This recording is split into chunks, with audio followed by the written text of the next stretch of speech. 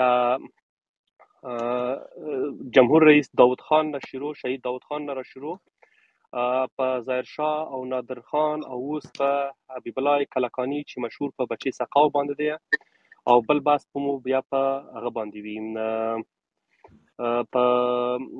امان الله خان هم دغه د لړۍ پورته ځو نو استاد ته خرغلاس وایو او ټولو توجه غواړو د بحث اوریدلو ته د بحث منوال دا دی چې اول به استاد خپل تفسیره وړاندې کوي استاد خپل تفسیره د چې په هر څومره وخت کې وي ختمه کا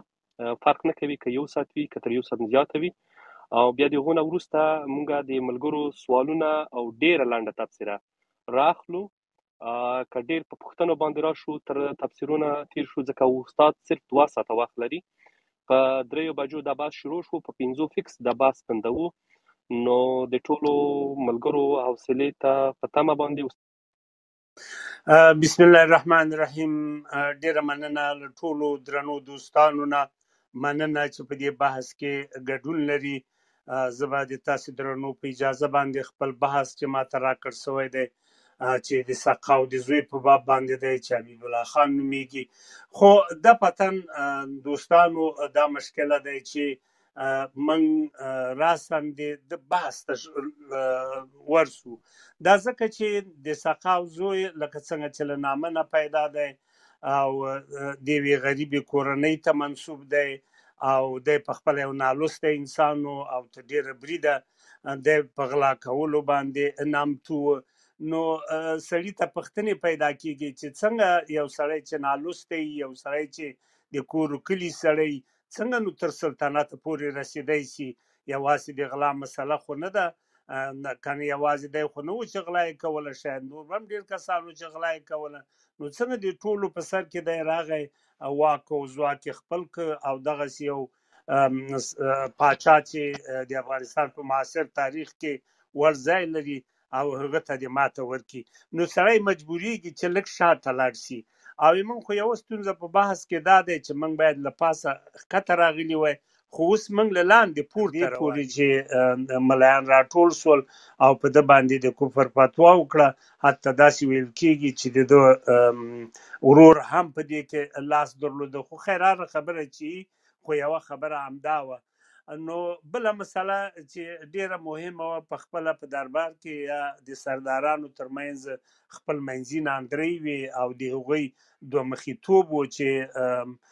امان الله خان ته یوه خبره کوله بیا به تلل د برتانوي هند استازو یا سفارت ته به تلل هلته به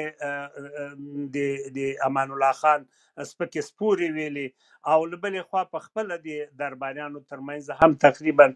درې څرګندې ډلې موجودې وي چې ما شاید په تیر بحث کې هم دې ته اشاره کړې وي چې یو د محمود ترزي د کورنۍ ډله وه بل خپله د سردار یحیی خان چې په سر کې په دغه ټاکلي تاریخي پیر کې نادر خان و او همدغسې د بله کورنۍ د غلام حیدر خان څرخي چې ورور دغه چې زوی یې وبخښي په دغه وخت کې نامتو و چې د نور ورونو ترڅنګ دی مشر و چې غلام نبي خان څرخي نومېده دغه ناندرۍ هم موجودې وې چې د امان الله خان سلطنت یې کاواکه کړ. بل په خپل امان الله خان هم کله چې له افغانستان ووت ممبئی ته چلان نو په ممبئی کې د ډیرو کسانو چې په هغه کې د انګریزانو استازي هم وو هغه دا وینا په زغر د باندې وکړه چې ما پوزي ماته نه ده خوړلې بلکې په دربار کې د نن یو شمیر داسې کسانو چې هغه له ما سره خیانت وکړ بله مسله چې بیا به له خیره په په بشپړه توګه تاسو درنو دوستانو ته په عرض ورسوم هغه د پکتیا یا د خوست اړو دوړو او ورپسې بیا د شینوارو اړو دوړو چې تقریبا دغه دوه اړو دوړونو هم د امان الله خان ملا ماته کړه او له هغه ځای نه د ده په ضد باندې چې تقریبا دا دواړه سیمې د برتانوي هند سره جغرافیایي نږدېوالی درلود او هلته عربي لارنس لارنس چې په عربي لارنس مشهور دی هغه هم ځان راورسو او ما لکه مخکې چې اشاره وکړه نور المشایخ هم ډیر فعال و تیار په دیره اسماعیل خان او دیره غازی خان کې خپل مریدان له ځانه را چارپیر کړي وو کله به برتانوي هند ته ځان رسوه او کله به پکتیا ته راته د د د بیلابیلو قومونو په منځ کې به د امان الله خان بده او د سقاو د زوی خویلې لدینه چې سره راتیر سو نو امان الله خان دې نقطې ته ورسې چې باید له کابل ووځي نو بیا ځکه د طرزي کورنۍ او غلام صدیق څرخي او همدغسې د دربار وزیر چې محمد یعقوب خان نومېده او د کورنۍ چارو وزیر چې عبدالحد خان و تقریبا دوی په پنځو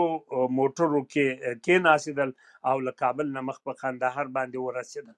خو مخکې له دې چې دې حرکت وکړي امان الله خان خپل مشر ورور چې سردار عنایت الله خان نومېده هغه ته د واک چارې ورسپارلې او هغه هم د جنوري په څوارلسمې نیټې د د د هغه وخت د سلطني دود سره سم خلک راټول کړل او خپل ځان یې پاچا اعلان کړ او کله چې دی پاچا سو م، له بده مرغه چې ا، بیا هم همغه درباریان ا، د د د ده نه را چارپیر وو خصوصا په دغه لړ کې ا، محمد صادق مجددي او عطا الحق او ډیر ا، نامتو سردار چې سردار عثمان خان نومېده ا، دا یې د یو پلاوي په توګه باندې ام، حبیب الله ته چې مشهور د سقاو په زوی دی ا، هلته یې واستول نو خو دوی لا د سقاو ځای ته نه و رسېدلي په دې لاره کې ځای ځای چیرته چې ځواکونه ځای په ځای وو او تقریبا دا ځواکونه هم کم نه وو یوه لویه لیوا وه چې د دې لیوا شمیر د پنځه زرو شاوخوا ته رسېده د هغه دپاره امان الله خان د یو کال لپاره ازوقه هم تیاره کړې وه او د دې لپاره یې وسلې او پیسې هم درلودې، حتی یوه ټاکلې خزانه یې په واک کې ورکړې وه. دا ټول امکانات یې برابر کړي وو، خو له بده مرغه چې دغه استازي چې کله ورسېدل، نو د دیکیپک په سیمه کې تقریبا چې هلته د دی یو مرکزي پوځي شتون و، نو هلته لاړل او هغوی ته یې لومړی مبارکي ورکړه. او بیا یې ورته وویلي چې امان الله خان له هیواده وتلی او اوس د جنګ وخت نه دی او ښه دا ده چې تاسې له جګړې لاس واخلئ اوس روغه ده او موږ دغه د روان یو د حبیب الله د سقاو زوی سره خبرې کوو نو رښتیا دا خبرې چې ځای ځای دی د بېلابېلو پوځي ځواکونو سره وکړي هغو هم تیتو پرک سول هغه کم نظم چې په پوځي لحاظ موجود و په هغو کې ماته راغله نو دا خپل یو بل بریالیتوب و د حبیب الله د راتګ لپاره همدغه راز انګریز استازی چې هم په افغانستان کې لا تر دغه وخته پورې و که څه هم دی پیښور ته تلل راتلل او نو د نورو هیوادونو کوم استازي چې و لکه د فرانسې د جرمني د ترکیې یا نور ګرچې د ترکیې هغه خو پاتې و خو دا بېلابېل دا دیپلوماټ غړي هم پیښور ته تګ او راتګ درلود خو په دغه وخت کې همفریز چې د د انګریزانو استازی و ده خپله په یو لیک کې د بهرنیو چارو وزیر بریتانیا ته چې په هغه وخت کې هندرسن نومېده ده ته د امان الله خان د تېښتې خبر ورکړ او ورته ویل چې امان الله خان تښتېدلی دی او ډېر امکان لري چې واک هغه څوک چې د ده په ضد باندې جنګېده ډېر امکان دی ولري چې دا واک هغه ته په لاس ورسي نو دغه ټولې خبرې دې ټکي ته راورسېدلې چې د سقاو زوی ته د راتګ زمينه برابر کړه په خپل فیض محمد کاتب چې تقریبا د دربار یو نامتو لیکونکی و هغه په خپل وایي چې دغه پلاوی د سقاو زوی ته چې ورغی وی لومړی د سقاو زوی ته بایعت وکاو او بیا ورته د سردار عنایت الله خان خبر ورک چې سردار عنایت الله خان موږ رالیږلي یو او موږ تاسو ته باید کو تاسو ته مبارکي وایو ته بریالی شوې امان الله خان له هیواده وتلی نو اوس تاسو کولی شئ چې په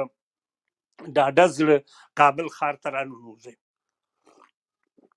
نو دغه دوه مخي وه چې عنایت الله خان اه، چې ولید چې م، دغه جګړه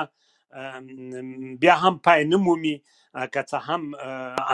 عنایت الله خان دغه استازو ته ویلي وو چې تاسې م، اه، د سقاو زوی حبیب الله ته ووایي چې امان الله خان استعفا وکړه او تاسې چې کومه ستونزه درلوده خو نو د امان الله خان سره هم درلوده اوس نو د جنگ کولو کومه پلمه پاتې نه ده تاسو راسئ په روغه به خبرې وکړو او هغه کوم وړاندیزونه چې تاسو لرئ کوم پیشنهادونه چې لرئ هغه تاسو کولای شئ چې مطرح کړئ او په هغه به ګډه کار وکړو همدا علت و چې تقریبا د دغو قواو کې چې ډیر د کابل خاري چورک د کابل خاري لوټ کړ هغه یو ملک محسن نومېده او بل پردل خان نومېده نو پر جنرال پردل خان او ملک محسن د تقریبا د کابل ګڼ شمېر کم دکانونه چې خلاص و په هغو ورننوتل او هغه کسان چې وسلوال جنګیالي د دوی سره و هغو ته امر وکړ چې سر وهلی مال تاله نو دا خبرې دلته روانې وې او کله چې امان الله خان له دې نه خبر سو چې او رښتیا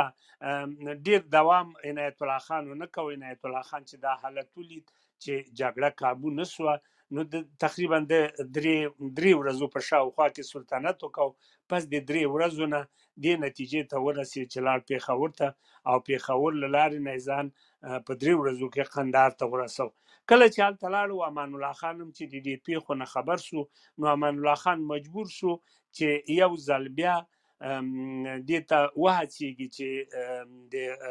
د کابل پایتخت ونیسي نو کله چې د دلته خبر سو نو دواړو ورونو په ګډه په کندهار کې یو جرګه راوبلله او په دغه جرګه کې خلکو سره خبرې وکولې او یو لنډمهاله حکومت هم یو ځل بیا د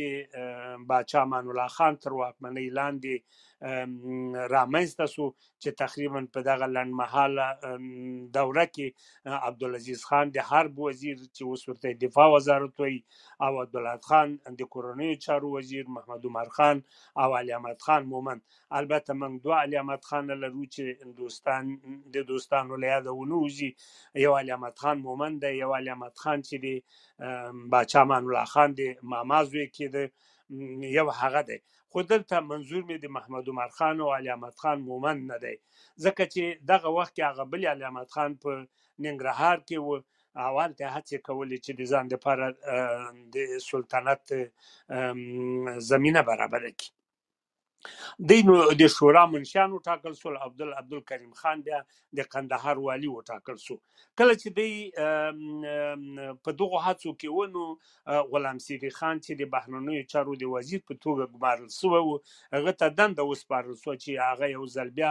ټولي نړۍ ته تلګرامونه خپاره کړي او ووایي چي باچا امان الله یو ځل بیا د هیواد چاري په لاس کي ونیولې او دی د افغانستان قانوني پاچا دی. دغو خبرو یو ځل بیا نړۍ دې ته حیرانه کړه، خصوصاً انګریزان یې دې ته حیران کړل، خو په هر حالت چې و،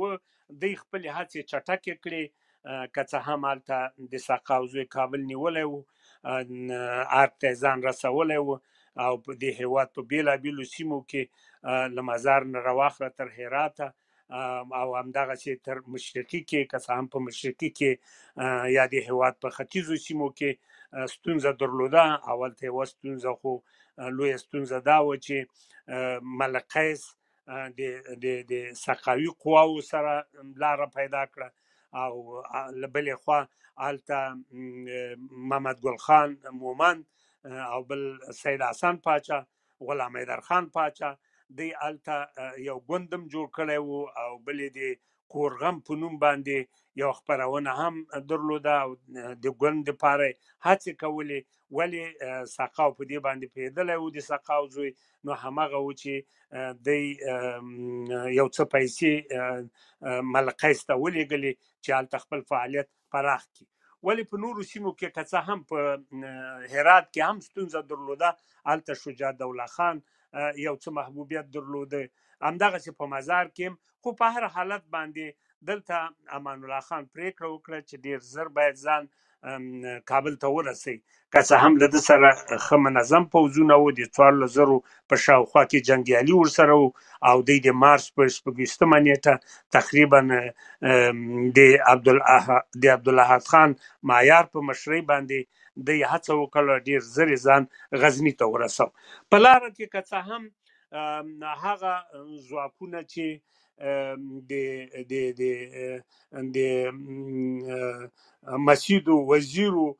کوم وسله وال چې د امان الله خان په ملاتړ راغلي وو تقریبا د زابل په سیمه یعنی د شاجوی په ولسوالۍ کې چې د هغو مشر یارمحمد خان نومېده هغو هم د امان الله خان په ملاتړ باندې هڅې شروع کړې او بل د امان الله خان یو ورور چې امین جان نومېده که څه هم دا د بلې مور نه و مور یې هزارګۍ و خو دی د بامیانو والي و هغه هم تقریبا د دوه زره تنو په شاوخوا کې جنګیالي غزني ته راورسول کله چې دی غزني ته ځان ورسو او حضرتان خصوصا فضل عمر فضل عمر مجددي او یو نو یو ګن شمیر نور خصوصا د سلیمان خېلو د اندړو او شاوخوا نور کوم قومونه چې هلته فعال وو نو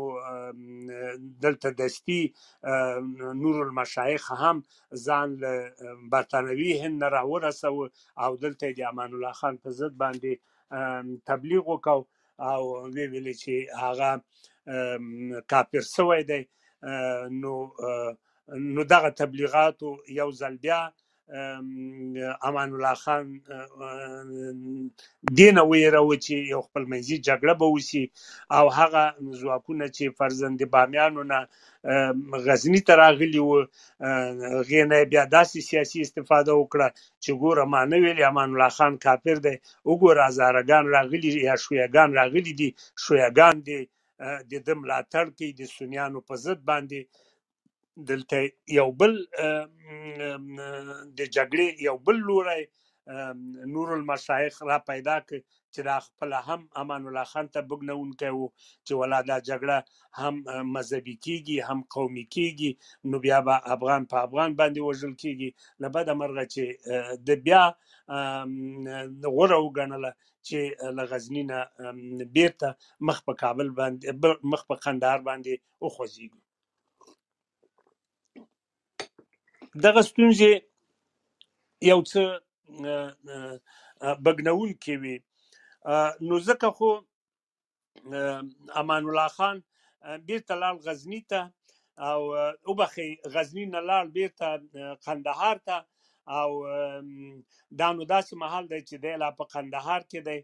چې ما مخکې که تاسو په یاد وي په هغه تیر بحث کې مې دې ته اشاره وکړه کنه چې علي احمد خان چې د ماما زوی وو هغه په ننګرهار کې ځان پاچا کړی وو او دغه وخت نادر خان هم له له فرانسې نه ځان رسولی وو له خپل ورونو سره او په پیښور کې وو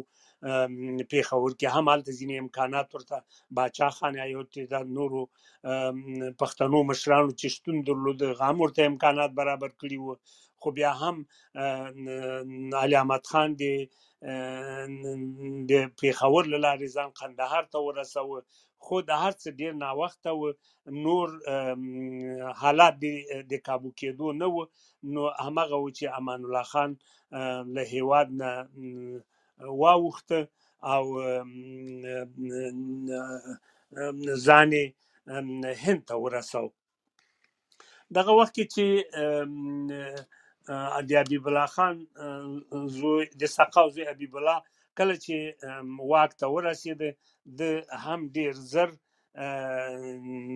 او پتیله چې باید د خپل کابینه اعلان کی خپل سلطنت اعلان کی نو په کابل کې د دستی خپل کابینه جوړ کړه او چې هغه کابینه کې البته د سقاو زوی حبیب الله د کابینه په لړ کې د په خپل د افغانستان د پاچا په توګه چې ځان یې د غازي او د رسول الله د دین خادم ګڼه او سید حسین چې د بل یو غل ملګری وو هغه د نایب السلطنه او د حرب د وزیر په توګه وټاکل شو حمید الله چې د دې حبیب الله ورور کېده یعنی د سقا او بل زوی و هغه سردار او معین السلطنه وټاکل شو د صاحبزاده خواجه جان زوی شېرجان خان د دربار وزیر سو، عطاالحق صاحبزاده چې دا هم تقریبا د یوې کورنۍ خلک وو، د شېرجان ورور کېده، دا د هوایي ځواکونو قومندان وټاکل سو، همدغه ډول میرزا مجتبی د مالیې وزارت په حیث وګمارل سو، ملک محسن چې دا یو نامتو غل وو، دا د کابل د والي په توګه، همدغه ډول د حکیم احمد جان د هم د چې د محبوس خان د زوی و د هر مرستیال وزیر سو او د تګاو عبدالغفور خان د کورنیو چارو د وزیر په توګه او همدغسې د سید حسن په سپارښتنه باندې چې بیا وروسته البته نورې ستونزې د دی په خپل منځو کې پیدا کیږي د په لنډه توګه باندې تقریبا ډیر زر دغه کابینه اعلان کړه او خپل سلطنت نړۍ ته وښود چې دغه د حکم تغییر چې راغلی دی د هغه کابینه په دغه ډول باندې ده دلته یو شمېر ختیځ پوهان خصوصا په دغه ترڅ کې ادمک د همپریز له قوله وایي د انګریزانو د استازي له قوله وایي چې په دې باندې اکتفا و نه کړه چې کابینه اعلان کړه بلکې یو تعداد سرداران یو تعداد هغه کسان چې د تیر حکومت سره کار کړی وو او یا د امان الله خان سره او یا د نورو چارواکو سره اړیکې درلودلې تقریبا هغه سرداران یو د بل پسې نیول او یو د بل پسې وژل په خپل هم دا اپریز هم دا خبره کوي چې امپریز وایي چې تقریبا په دوه شپېتو کې د شپېتو نه زیات سرداران ونیول شول او لمنځه لاړل او په دې کې دغه ما چې تاسو ته د مخه د محمد عثمان خان خبره وکوله محمد عثمان خان او جاغوري نادر علي او همدا ډول احمد علي د دې په باب باندې داسې انګیرنې خبرې شوې چې د شاهزاده حیات الله خان په مشرۍ باندې دی غواړي چې سقاو زوی له منځه ویسي نو ځکه دی په خبر سول او دی په دار وځړول او دا د محمد عثمان خان قصه خو ګر چې ما دا قصه تاسې قائمه هغه ته لاړ سئ فیسبوک پاڼې ته نو هلته ما دا قصه کړې ده وی دغه وخت کې دی په یو بکس کې واچو سردار محمد عثمان خان په بکس کې واچو او ژوندی ادیرې ته بوت او خاورې پې واړولې یعنی داسې ظلمونه د حبیب الله خان په خپل د واک په موده کې چې لا ډیر وخت وتلی نه و پیل کړل خا را بسولګ دې ته چې تقریبا دغه ټولې هغه لنډې د د د د تیر حکومت د کلمو یو لنډ جاج و چې ما تا ایسته واخیسته چې ټول دغه لاملونه و چې د حبیب الله خان واک ته زمینه برابر کړه خا را وسولک دې ته چې د حبیب الله خان څوک و او هغه د د د په ژوند لیک کې داسې یو څه تفسیره وکړو زه وایم چې دغه به په زړه پوري وي چې دی څوک و او ولې څه رقم وا د واک دپاره چې کومه زمینه برابره سوه خو موږ په هغه باندې لږ و زیات خبرې وکولې خو د ده په باب باندې چې دی څوک و او د ده پلار د ده کورنۍ په دغه باب هم داسې به لنډ وغږیږو بیا به هغه اصلي د د نورو کړوړو ته سر ورښکاره کو و مې ویلې چې د نوم حبیب الله و او دا چې د سقاو زوی ورته ویل کیږي د دې لامل دا و چې د پلار د یو وخت عسكر و او د عسکري هم په د زابل په قلات کې و نو د قلات کې چون وبه چې په کوم ځای کې چې یو پوځي کنډک پروت و نو هلته وبه نه وي او دا د قلات ته که دوستان څوک ورغلي وي هلته یوه چینه وه هغه وخت کې چې تقریبا اینا د بیټ نیکه د وختونه خلک داسې وایي چې حتی دلته دا د بیټ نیکه کتاب هم و انګیرنې دي داسې نو ویل سوي دي یا نور کوم هغه لرغونتوب چې دې سیمې درلوده نو د دې چینې نه به ویده دا ژی یو قسم ژی جوړېده د څارویو د پوستکي نه چې دا تقریبا ما هم لیدلی او شاید په دا اوس به یا به نه خو نه اوس نور وسایل راوتلي دا به نه نو بیا به ده په دې کې اوبه د عسکرو ته وړلې نو ځکه دی په همدغه نوم باندې نامتو سو او شاید بیا چې کابل ته هم راغلی البته همغه د سقاوي توب کار به کوو نو دا سقاوي کلمه په هغه کې کابل کې ډیره نامتو وه او دا تر ډیره بریدم په کابل کې وه په اطرافو کې ډیره دا کلمه نه وه ځکه چې دغه وخت کې چې د پغمان نه کوم نل راتیر سوی و کابل ته د کابل په بیلابیلو سیمو کې تقریبا دغه اوبه چې د امیر حبیب الله خان او د امان الله خان دغه وختو کې چې هغه د پغمان کوم نل تر تر ارګه یا د ارګ شاوخوا سیمو تر راغلی و بیا په څلور لارو کې به یو نل د اوبو موجود و چې دلته به بیا دغه سقاو راته د خپل زی زی یا ژی چې کله په کلی کوچیان هم لري که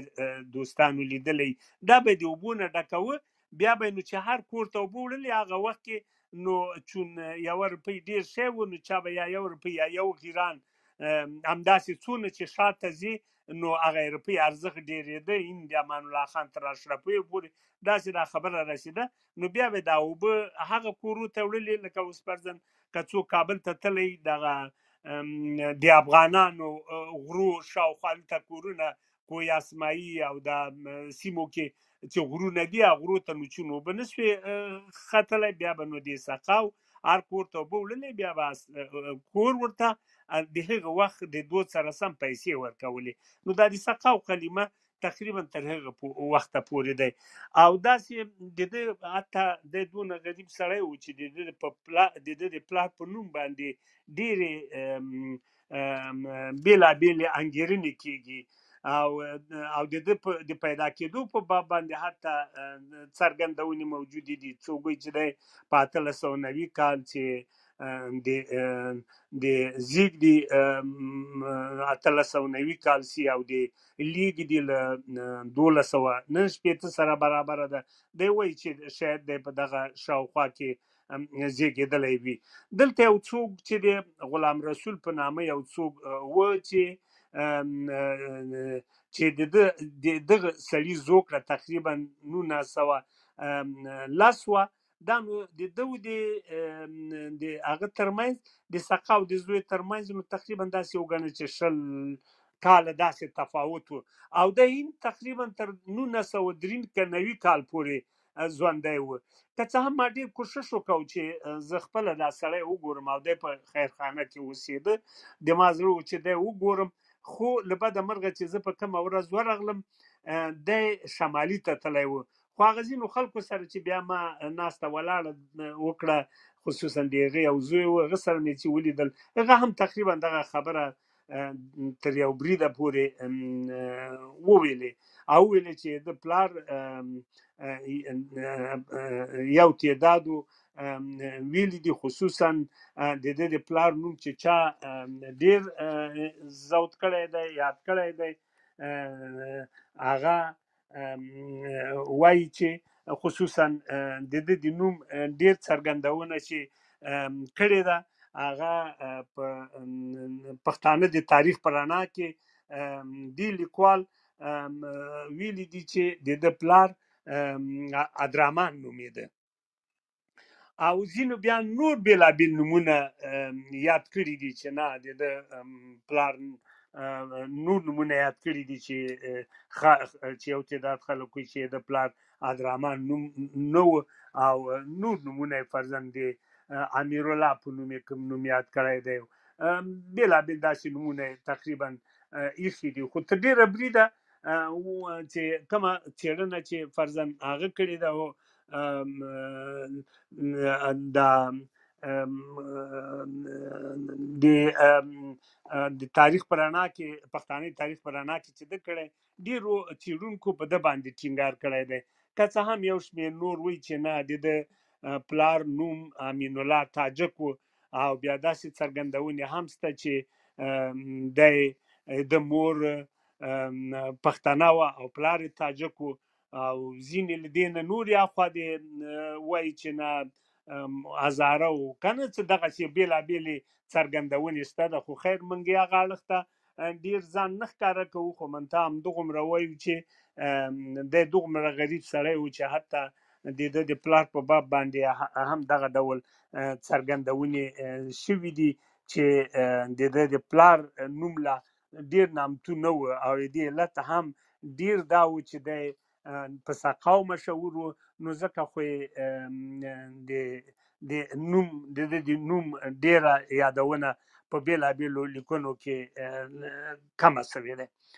او له دې نه مخکې هم، اه، چې کوم کار چې ده کړی دی ام، وایي چې دی په نولس سوه دوه ویشت کال باندې اه، له یو پنجشیري سره چې هغه مولوي عبدالحی نومېده، دا هغه وخت دی چې بلشویکي انقلاب په نولس سوه او لس کال یا د اکټوبر انقلاب سوی دی او د په منځنۍ اسیا کې خصوصا پرغانې شاوخوا سیمو کې چې کوم جهاد د بلشویکانو په ضد یا د کمونستانو په ضد موجود و وایي چې د دې مولوي عبدالحی سره د هلته هم تللی و او هغه سره یې لیدلي دي یو بل تاریخ لیکونکی دی ممکن تاسو دوستانو نوم اوریدلی وي هغه صدیق فرهنګ نومیږي میر غلام محمد صدیق فرهنګ وایي چې د د 1925 کال نه تر 1928 کال یعنی درې کال وې دومره شوک وکاو یا دومره لوټماری وکړه یا دومره غلاوی وکړي چې له د غلا له بابته دومره نامتو شول نامتو شو چې حتی له پغماني عبدالقیوم خان فرقه مشر سره و یو ژمنه ژمنه وکړه او په دغه ژمنه کې هغه ورته ویلي وو چې هغه کومه بدی چې د هغه د ورور سره موجود او ورته ویلي وو چې هغه له منځه یوسي آن له هغه نه پرته داسې انګېرنې دي البته د عبدالقیوم خان فرقه مشر له ژمنې پرته داسې انګېرنې هم شته ده چې دنه دنه حیات الله خان هم غوښتي وو حیات الله خان د امان الله خان ورور هغه غوښتي وو چې امان الله خان وژني لمنځه یې شي په دې باب باندې د چې د خپل دوستانو ملګرو سره خبرې کړې دي نو هغه ویلي دي چې امان الله خان مې ځکه ونه وځه چې له یوې خوا خو د جشن ورځې وې ما نه غوښته چې د جشن ورځې په خلکو باندې خرابې کم او بل دا و چې ډېره ښکلې ښایسته ځواني یې درلودله زړه مې نه سو چې دی مړ کم نو دا دا د غلا مسله ډېره مشهوره وه او ان دومره مشهوره وه چې تر ارګه پورې لاره وکړه په خپل باچا دې دې نه خبر سو او یوازې دی نه و دا لو ډله وه او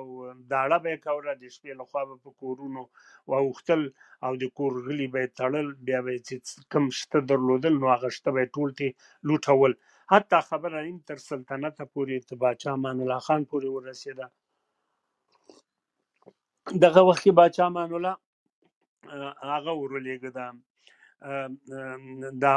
چې مخکې مې هم تقریبا یادونه وکړه علي احمد خان یې ورولېږه چې د دې د ځپلو دپاره باید علي احمد خان هلته لاړ سي پروان ته لاړ سي او غله وځپي ولې له بده مرغه چې کله علي احمد خان هلته لاړ نه یوازې چې د حبیب الله او سره ملګري ونه ځپل داسې انګېرنې موجودې دي چې حتی ده ورته د هغه نور هم پیاوړي کړل او قوي یې کړل او یو تعداد څېړونکي په دې اند دي چې علي احمد خان ځکه دا کار وکاوه چې ده ته د امان الله خان رویه معلومه و چې امان الله خان نه غوښته چې په هیواد کې کړکېچ وي هغه جګړه نه خوښوله نو ځکه ده ویلې چې دغه غله به پښې ودربوي او په خپله د سقاو زوی خو د دې وړتیا نه لري چې دی د پاچا وي او دی د واک ته ورسیږي نو بالاخره دی به واک ته ورسیږي او وروسته تاریخ هم خو د لکه ما چې د مخه یادونه وکړه همداسې وشول امان الله خان لا په کندهار کې و چې علي احمد خان په ننګرهار کې د پاچهي اعلان وکړ یعنی دی چې د مخکې نه کومې توطیې ته متوجه و هغه رښتیا هم چې همغسې وه نو بله خبره مسله چې د ما په پام ډیره مهمه ده چې مخکې مې تقریبا یو څه اشاره ورته وکړه چې د امان الله خان یو شمېر درباریان د باور وړ نه و او هغو دو, دو مخي سیاست لوبو فرضاً دغه په څنګ کې چې د دې نږدې د کو- فرضاً د کورنۍ د بهرنیو چارو وزیر یې و بیا یې دفاع وزیر سو او تقریبا د نادر خان او د امان الله خان د اختلاف یو ټکی هم البته لاملونه یې ډیر دي چې په خپل وخت به یې زه تاسو ته هر لامل ووایم خو هغه لامل چې اه، اما اه، د امان الله خان او د نادر خان ترمنځ اه، تقریبا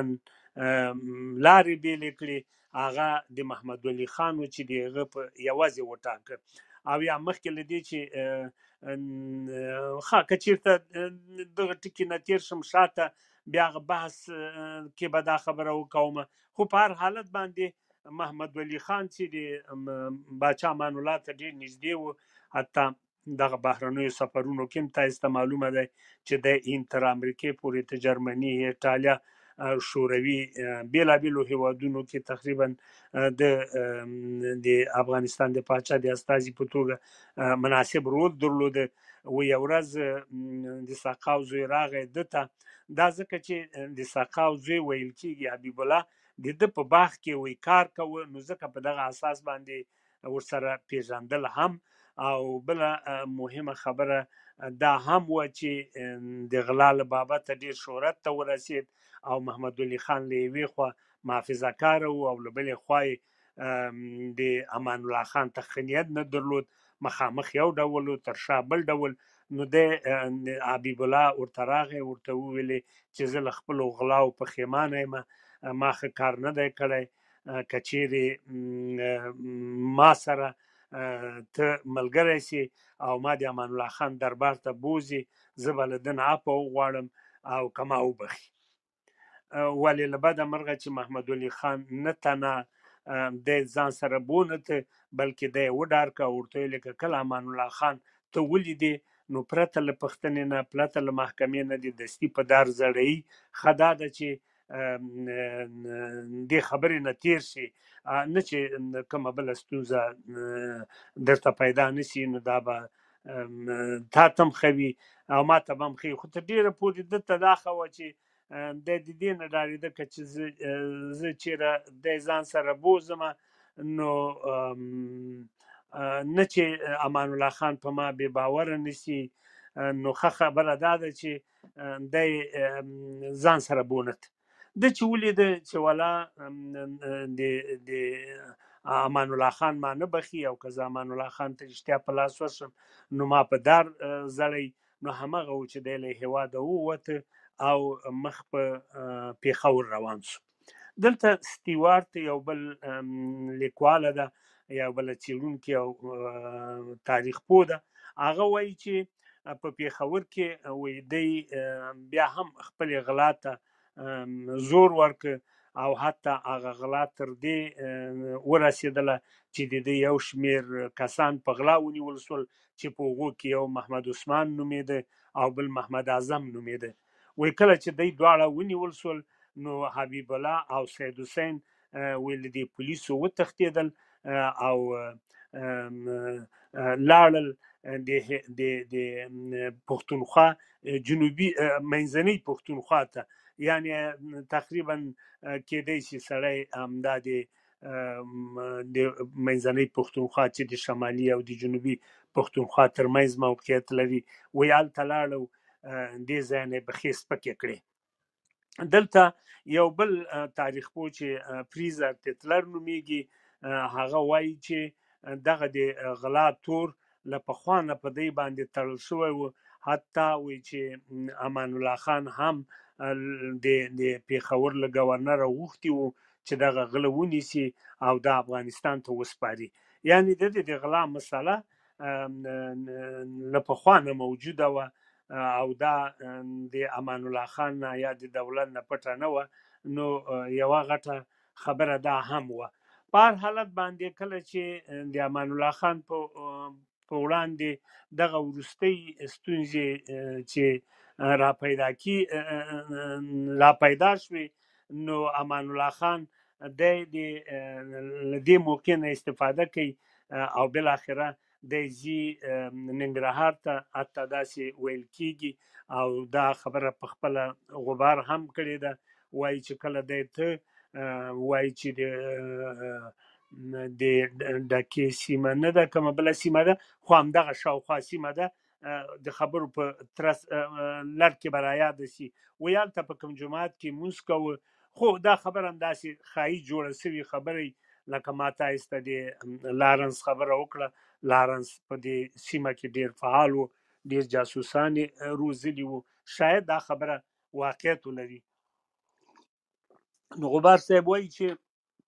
جمعه مونځ یې چې وکاو نو وای د سقاو د خلې نه دا قصه کوي چې ماته یو ملا راغی راته ویلې چې ام، ته خراتلونکې لري او ته لارسه پلانې ونې ته چې لاړې کله چې تا هغه ونه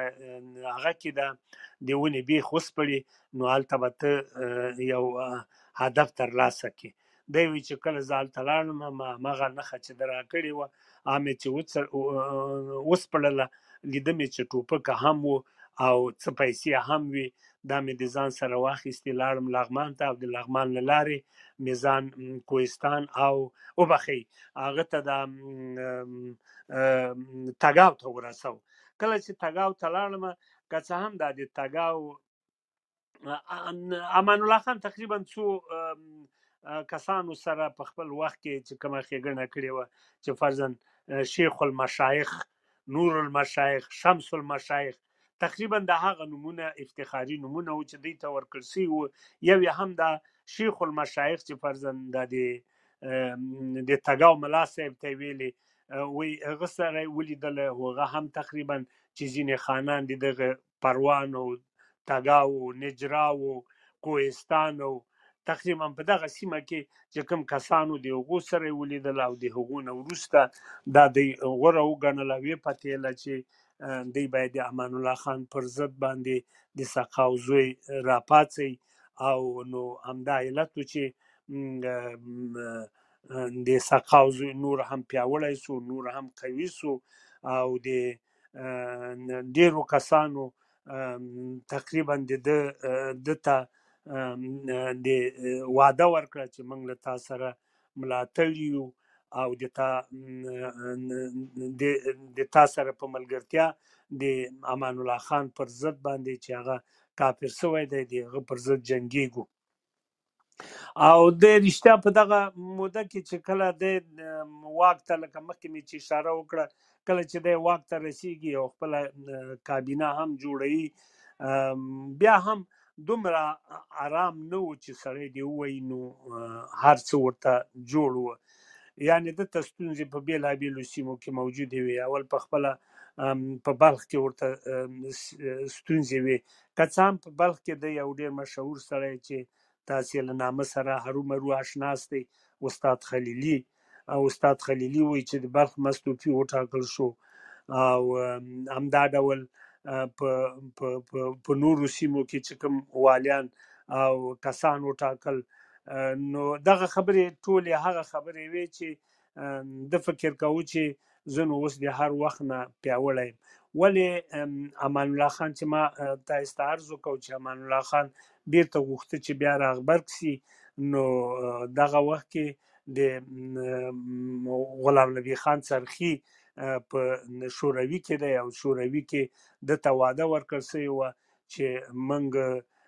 د تا په ملاتړ باندې د سقاو د زوی په وړاندې درېږو ځکه شورویانو داسې فکر کړی و چې د سقاو د زوی تر شا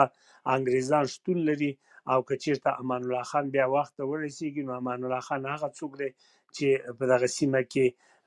ښایي د شورویانو په ګټه یو بلانس وساتي وایي چې په تیارو کې تقریبا څوک دوه زره څوک زیات و کم یادوي چې سرتیري روسیې نه یا شوروي نه راوستل او حتی غلام نبي خان هم تر بلخ رسیدلی وو او دا هغه وخت دی چې غوښته چې امان الله خان چې مخکې ما تاسو ته اشاره وکوله چې د چې کومه لویه جرګه جوړه کړه لویې جرګې ته د وویلې چې ما پرېکړه داسې دی چې زه هرات ته ځم او د هرات له لارې نه مغسې ځان مزار ته رسوم مزار نه هدف همدا و چې هغه کومکونه چې شوروي د غلام نبي خان څرخي سره کړي د هغو په ملاتړ به بامیانو ته او د بامیانو نه غزني ته ځان ورسوي هماغسې به داخل کابل ته سي او بیا به د دوم ځل دپاره پاچا سي دلته څو دلایل ډېر د پام وړ دي لومړی دا خبره کېږي چې په خپله امان الله خان په دوه دلایلو ونه غوښتل یو همغه زړه په خواني خبره چې زنه غواړم چې په افغانانو کې خپل منځي جګړې ته لار اواره کوم او دوم داسې انګیرنې هم سته چې د ویل چې زه په پردي ځواکونو باندې نه غواړم واک ته ورسیږم نو همدا علت و چې دی کندهار ته راغی او د کندهار نه د کندهار له لارې کوټې ته او له کوټې نه هماغسې هند ته واوښته دغه وخت کې وی چې غلام صدیق خان چې د غلام نبی خان بل ورور دی او هغه دغه وخت کې د انتقالي حکومت یا د لنډمهاله حکومت خارجه وزیر دی هغه وی خپل ورور ته وویل چې ته بیرته خپل مخه ونیسه او منګ یا پاچا د هیواد نه ووت او نور هغه کم پروګرام چې د منګو تاسو په پام کې و هغه پر پروګرام وس سرچپه سو ضرور نه دی چې تاسو په هغه پروګرام باندې نور هم فکر وکوي نو ځکه داسې انګیرنې دي چې غلام نبی خان چې کله دا حالات ولیدل چې امان الله خان په سیمه کې شتون نه لري او له افغانستان وتلی دی نو بیا یې ونه غوښتل چې نور خپل ورور یا خپل کورنۍ یا یا په ټوله کې هغه خپلوان چې د ده په هیواد کې دننه موجود دي که چیرته سقاو زوی د دې نه خبر سي ممکن هغو ته یو زیان ورسیږي خو په هر حالت باندې د سقاو زوی د د نه میاشتو په شاوخوا کې چې کله واک ته ورسېد د د واک ډېرې مهمې مسلې اه، چې ام، د د کوم کارونه کړي وو اه، چې په تاریخي لحاظ باندې د اه، تاریخ یې نه بخي او په تاریخ کې ډېرې سترې او نه بخښېدونکي اه، تېروتنې وي فرضاً یو شمېر اه، دا چې اه، د چې کومې ټاکنې وکولې اه، داسې کسان یې واک ته رسولي وو چې اکثر وي ام، اه، لوستي نه وو اکثر وي زده کړې نه وې کړې داسې کسان واک ته ورسېدل او بل ډیره مهمه تاسو پیږي چې د حکومت داري کې یا د حکومت په جوړولو کې کورنۍ او بهرنۍ سیاست ډیر مهم دی د باندینه او کورنۍ سیاست دواړه نه درلودل نو دا د د ناکامي او بل لوی لامل وو خو اساسي لامل هم دا و چې د یو نالوسته سړی بل د مالیاتي سیستم لغوه کولو ته استعمالومه ده چې د درمان خان په وختو کې د درمان خان وختونه څه چې ان د امیر شیري خان په وختو کې مالیاتي سیستم لغول شوی و، خو د امیر حبیب الله خان او د امان الله خان او د نادر خان د د امیر عبدالرحمن خان په وختو کې مالیاتي سیستم ډیر پیاوړی و او یو منظم چوکاټ درلود د د عملیاتي سیستم هم له منځه یوړ ټول ښوونځي وتړل شول او علي احمد خان چې ما د مخه تاسو ته یادونه وکوله دی د پېښور له لارې ځان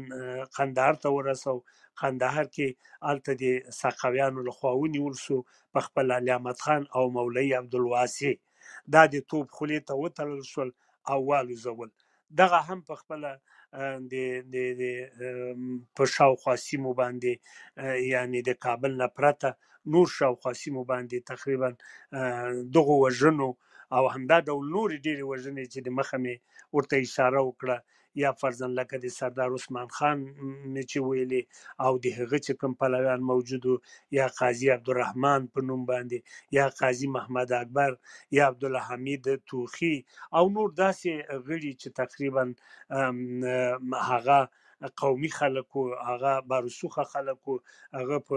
افغانستان کې ریښې درلودلې دا ټول هغه څه وو چې خلک له حبیب الله خان نه د هرې ورځې په تیریدو باندې فاصله نیوله او د خلکو لپاره د نفرت وړ وګرځیده حتی ډیره غمیزه ډکه مسله چې هر چاته بګنون کې و هغه د بدن د غړو پرې کول و اته لاسونه پرې کول پزې پرې کولې وګونه پرې کول پخې پرې کول دا ټول د بدن بیلابیلو غړي پرې کول بیخي دونه دود سوی وو چې د هر والي د د د هر چارواکي به چې څوک نه خوښېده بس امر به و یا به وژلو او یا به د هغو د اندامونو پرې کولو نو ځکه خو دغه ټولې خبرې نه یوازې افغانانو ته بلکې یو شمېر بهرنیو هیوادونو دیپلوماتان چې په افغانستان کابل کې ولا او که کابل کې نه و چې په پیښور کې هم و غوم تقریبا دغه خبرې خپل هیوادونو ته ورسولې حتی انګریزانو چې انګریزانو په خپل هغه وخت چې حبیب الله زخمی سو د سفارت ته راغی په د انګریزانو په سفارت کې د تداوی شو ان تر دې پورې چې انګريزانو د سره خواخوږي وخوده ولی بیا هم انګريزانو د د لاسه شکایت وکاوه او د دې شکایت لامل دا نه و چې بیا د امان الله خان راغبر سي بلکې د د د دې د شکایت لامل دا و چې دا یو نالوسته انسان دی او د دا ویره دی درلوده چې روسانو ته به زمينه برابر سي نه چې روسان یا شورویان چې دغه وخت دی پیاوړي و منځنۍ اسیا یې ښکیل کړې و نو افغانستان ته به راسي نو دوی ویریدل چې هغه سیاسي بیلانس چې په دې سیمه کې ضرور دی دا د سقاو زوی نشي ساتلی نو ښه دا دی چې دوی خپلو هیوادونو ته وویلې چې ما په خپل سترګو ولیدل چې د حبیب الله خان حبیب الله خان او د حبیب الله خان کسانو په ډېرې بې رحمۍ باندې کسان له زندانه ایستل او چارماري کولې او یا یې په دار ځړول همدا ډول نورې ډېرې ستونزې وې چې په هغه لړ کې چې خلکو ورسره علاقه درلوده هغه د خپلواکي جشن و چې امان الله خان د لسو کلو کې به دا جشن لمانځه او دغه وخت ونه منځل سو نو لومړی پاتون چې د په وړاندې پیل سو او د وګواخه هغه هم د کندهار د اڅکزیو پاڅون و او په څنګ کې د وزیرو او مسیدو پاڅون و چې تقریبا دغه پاڅون د سقاو د زوی ملا ماته کړه او دا هغه وخت دی چې نادرخان هم تقریبا سیمې ته را رسېدلی دی یعنی پیښور ته را رسېدلی دی او کله چې دی خبرم سو دې نه مخکې ما هغه تېر بحث کې درته ویلي چې د دوه سکني کسان یې ورلېږلي وو دا هغه وخت دی چې په خپله شاه محمود خان هم د سقاو سره لاکار کوي نو ځکه خو وایي چې کله دی هغه ته راورسېد دا د بنو سیمې شاوخوا دې منطقې ته چې کله راځي ورور یې ډېر په پټه باندې ورغی او دا ټول کیسې د سقاوي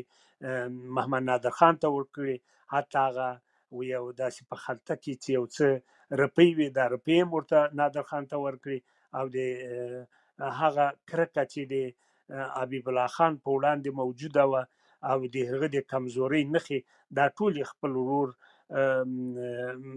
نادر خان ته وویلې نو دغه ټول لاملونه وو چې بالاخره لاس په لاس شو او د سقاو حکومت پای ته ورسېده او لکه موږ ته چې په تیر بحث کې وویلې محمد نادر خان د دوم محمد نادر خان د افغانستان پاچا سو یو ساعت د دوستانو اما پوره سو مننه مننه استاد د ډیر خوندور بحث نه دی چون ملګری زخت زیات علاقه لري چې سوال وکړي په دې دوره باندې نو د تفسیرې نه تیروګو صرف پوښتنې اخلو د هر ملګری نه خواهش کوو چې خپل پوښتنه تر وی دقیقې کې مطرح کړي او د هرې پوښتنې وروسته به د استاد بیا غو کړو نظر اخلو نوري سبا ول تاسو نو باته در درځم او یو شی بیا داونه کوم چې دا موږ ټول هغه ثبتو دا باس ثبتو تیر باس استاد موږ ثبت کړی دی یوټیوب کې دی او کتاب بیا خپل یوټیوب کې مغواړي چې واچوي هغه هم موږ تاسو ته درته د لګلې شو زموږ یو ملګری احمد ورور هغه ثبتوي د مخکنی باس چې په محمد نادر خان باندې وو هغه ثبت شوی دی لینک دلته پروت دی تاسو هغه ته موردل شي او دلته زموږ او تاسو په اکاونټونو کې ثبتېږي کوم د کلب هاوس کې د څوک اوریدل شي نو د دې په خاطر باندې راځو نوري صاحب مهرباني السلام علیکم استاد محترم زه سوال لرم چې آیا دغه خپل حبیب الله بچی سقاو په افغانستان کې د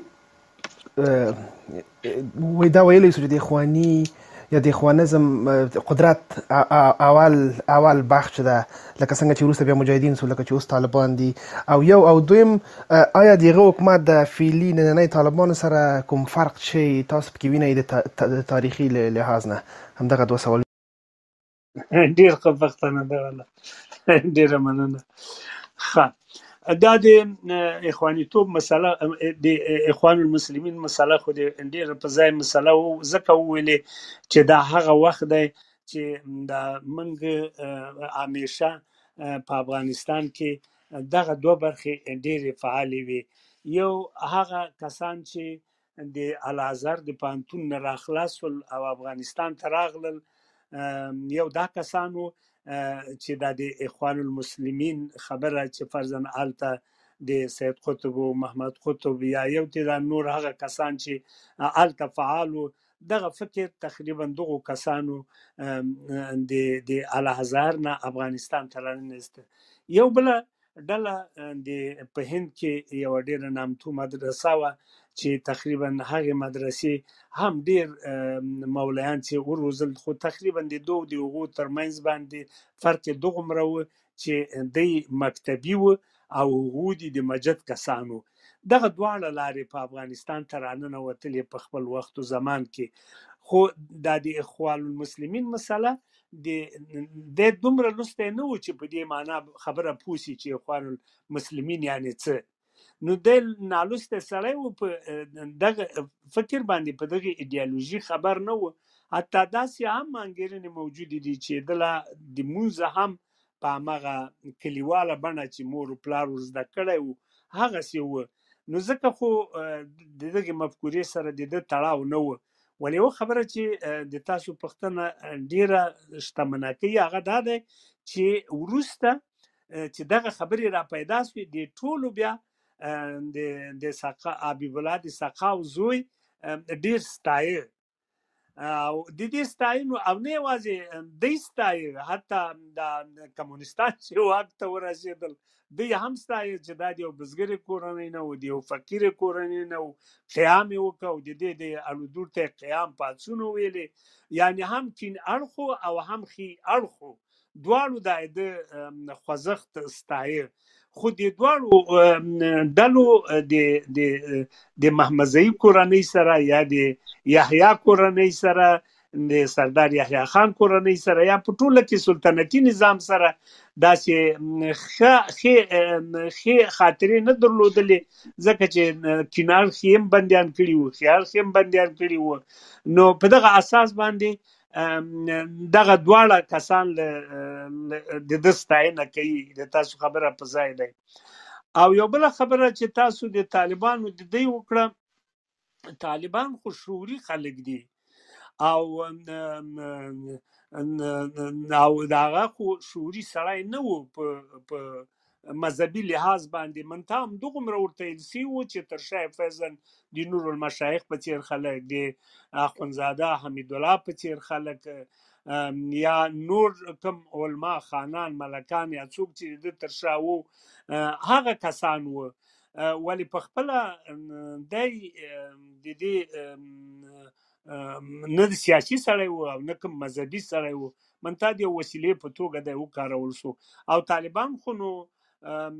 تر ډیره بریده د مدرسو خلک دي دی که څه هم اه، طالبان اخوانیان نه دي دغه یو خبره لکه ما چې مخکې وویلې حتی اه، ګڼ شمېر طالبان د اخوانیانو سره ډیر سخت مخالف دي فرضاً د اخواني توب دا اوس کومه بیلګه چی موږ په افغانستان کی لرو هغه حکمتیار صاحب دی چی دی د حکمتیار صاحب سره جوړ نه دی ځکه حکمتیار صاحب تقریبا دغه دومه ډله د د اگر چې تر ډیره بریده دی وی چې زه د اول ډلې د ځوانو مسلمانانو د مؤسسینو کې یم خو څومره چې د ما معلومات دي د دې هغه اصلي رهبر چې زه څونه پیژنم هغه غلام محمد خان نیازی نومېده چې د میمنې د مزار د بلخ د دې سیمې و هغه د اخوان المسلمین مؤسس دی وروسته بیا فرضاً ادریم خان نیازی شو ورپسې استاد ربانی شو بیا همدغه سي نور بیا پسې ډیر سول بیا این تر حکمتیار صاحب او ته احمد شاه مسعود تر دې پورې د علی کراو خوځیدله نو د طالبانو مسله که فرضاً په دغه یو شي کې تاسو وایي چې د هغه هم د مکتبونه لمنځه ویوړل او طالبان هم په ځانګړي ډول د نجونو ښوونځي یا پوهنځیو ته تر دغه دمه اجازه نه ده ورکړې په دغه لحاظ هم که ویلي ممکن یو څه ګډې وجې ولري خو په بنسټیز لحاظ باندې د طالبانو د ده ترمنځ واټن شتون لري مننه لطفا کل مننه او درنښت اکبري صاحب ښاغلي استاد ته ډېر ښه راغلاست وایم اوله زه استاد زما پوښتنه دا ده لکه څنګه چې تاسو په خپل بحث کې مخکې وویل وایي د حبیب الله کلکاني د سقاو زوی دا یو غل وو او غلا به یې کوله نو او د غریب سړي زوی وو نو زما پوښتنه دا ده چې د یو لوی هیواد داسې یو سلطنت داسې یو پاچاهي چې هغه انګريز غوندې یو ستر هیواد ته هم ماته ورکړه څرنګه دومره په اساني باندې دغه دومره د قوله کومه کده په عسكرګيري د کوم وکړه څه رقم وکول شو د چې دغه ټول سره منسجم کی او د ټولو دومره خلک په د پسې ودرېږي او ولې نو بیخي دا پښتنه زه فکر کوم چې نه یوازې اوسنی نسل ته بلکې راتلونکي نسل ته به هم وي او نه یوازې د کور د ننه لکه تاسو غوندې کسانو ته دغه پښتنه په خپل ځای دی او همدغسې له هیواد نه بهر حتی بهرني څېړونکي هم همدغه خبره کوي چې ولې داسې یو عظیم هیواد چې یو ډیر لوی ښکېلاکګر هیواد ته چې د هغه په امپراتورۍ کې مر نه پرېوته چې هغه برتانوي استعمار و چې په امریکا کې په افریقا کې په اسیا کې او د نړۍ په بیلابیلو سیمو کې ټولواکمني چلیدله این لوی هندوستان د دوی په ولکه کې و او ان د اولسمې پیړۍ نه را په دی خوا یعنی دی په هندوستان باندې درې سوه اووه څلوېښت کاله حکومت وکاوه انګریزانو ولې په افغانستان یې حکومت ونسو کولای فرضاً موږ دا د مستعمرې خبره کوو چې افغانستان مستعمره او ازادي یې نه درلوده بلې ازادي یې نه درلوده خو دا یوه خبره دوستانو زه باید تاسو ته عرض کړم چې افغانستان داسې هم د استعمار لاندې نه و لکه څنګه چې هند و ځکه د هند ټول تشکیلات د د د انګریزانو په لاس کې وو ولی د افغانستان هیڅ تشکیل د انګریز په لاس کې نه وو والی خپل مقرر وو وزیر خپل مقرر وو ولی بهرنۍ ازادي نه درلودله نو په دغه اساس باندې رښتیا دا خبره ډیره د پام وړ ده چې ولی دومره ستر هیواد چې یو ستر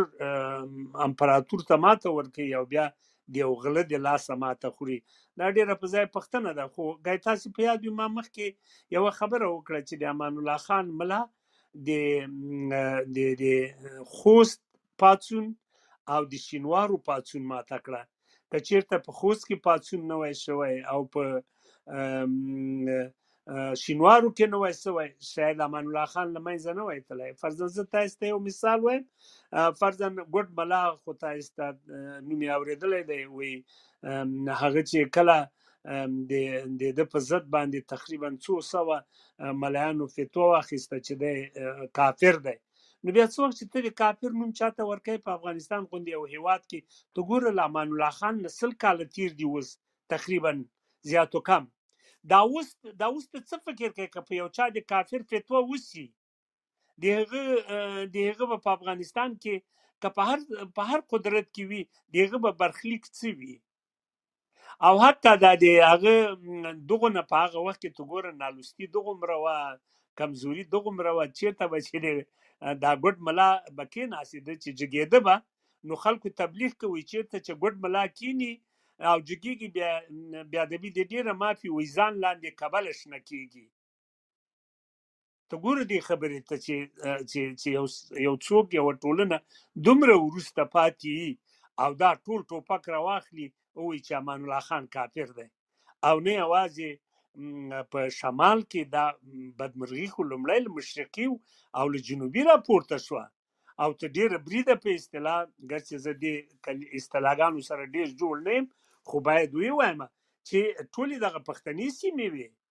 چې د په ضد باندې راپاڅېده نو چې د کفر نوم په یو چا باندې ولګېږي حتی تر دې ته پوهېږي چې امان الله خان چې ایلی و چې د صغیرې جلۍ سره نکاح مه تړئ د دغومره سخت سو چې ورته وویل چې دی مجبور سو ویل چې خیر د اجازه ده صغیرې جلۍ سره هم نکاح وکوي د دغه رقم نشینی وکړه حتی جزا قانون یې چې خکلی و جزا قانون نم تیر سو حتی دا سه هم ویل کیږي چې ورته ویل سو هغه پیشنهادونو کې ویل سو چې ته د خزه طلاق کا تر دې بریده را ورسېده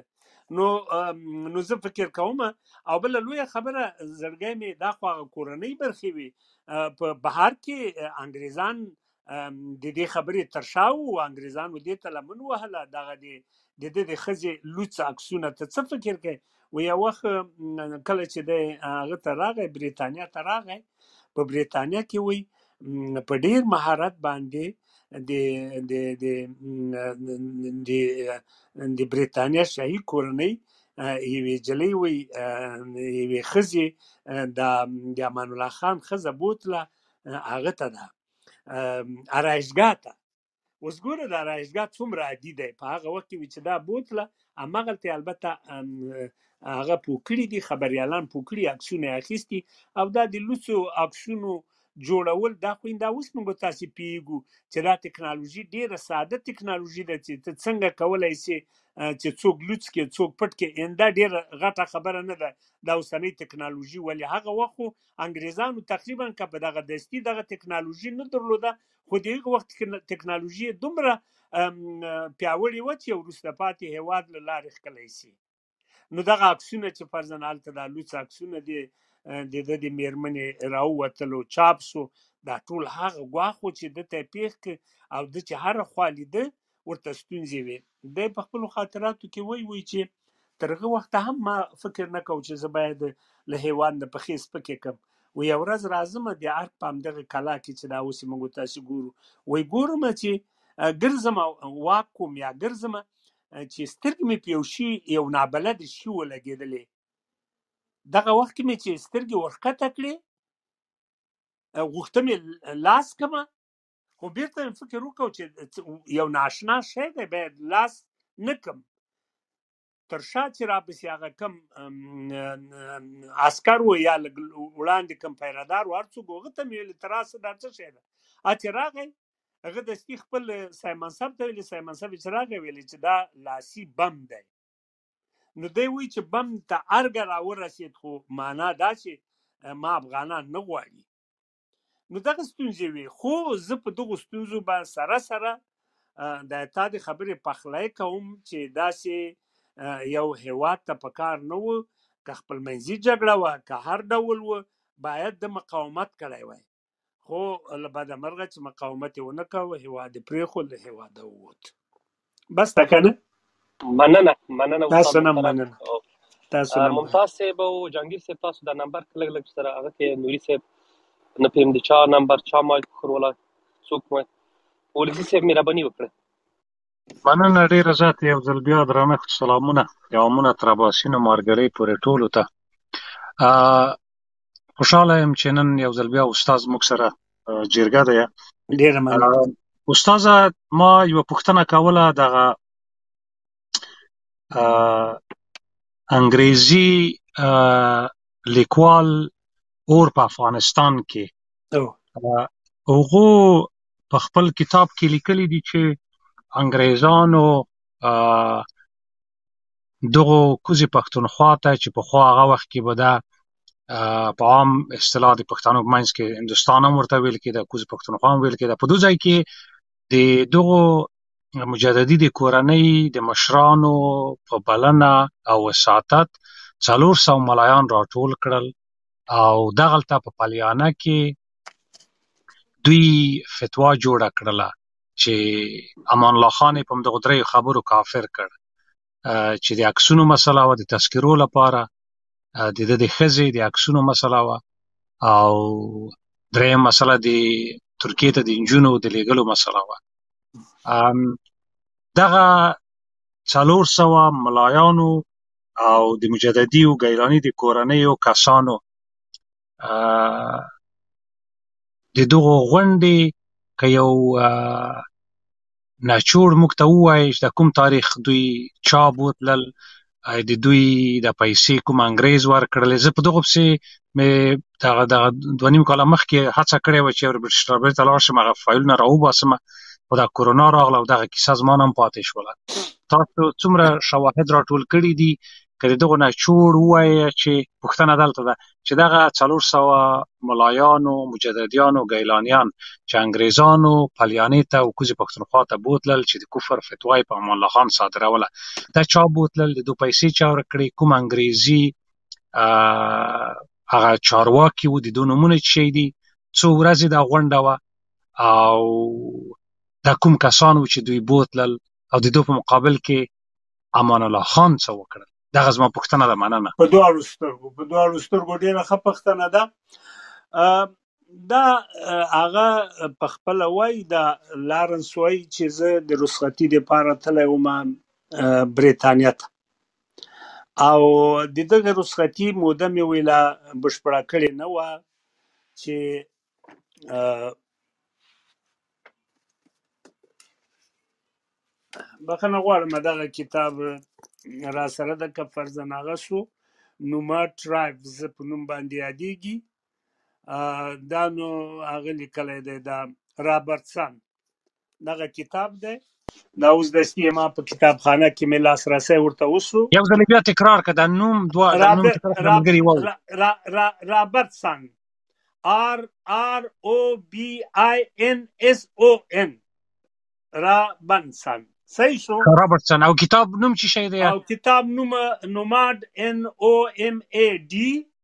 TRIBEF دغه کتاب کې هم دغه کیسې ته اشاره شوې ده دا کتاب ډیر ښه مفصل کتاب دی تقریبا دغه کتاب کې خي چې افغانانو څنګه هند ته مخه کړه او بیا هند کې هغه د هند تجارت چې تر هغه وخته پورې د د کښتۍ رانۍ پن او یا د اورګاډي لا منځته راسوي نه وو چې افغانانو د دغې سیمې تجارت کوه نو بیا په دغه زمین کې د رابنسن د د د د عرب لارنس د ده خبره کې دی وایي چې زه کله لاړم نو ماته رخصتي مې لا پوره نه وه راته وویل سو چې ته ډیر زر د هند وایسرای غوښتی او ته باید لاړ سې هند ته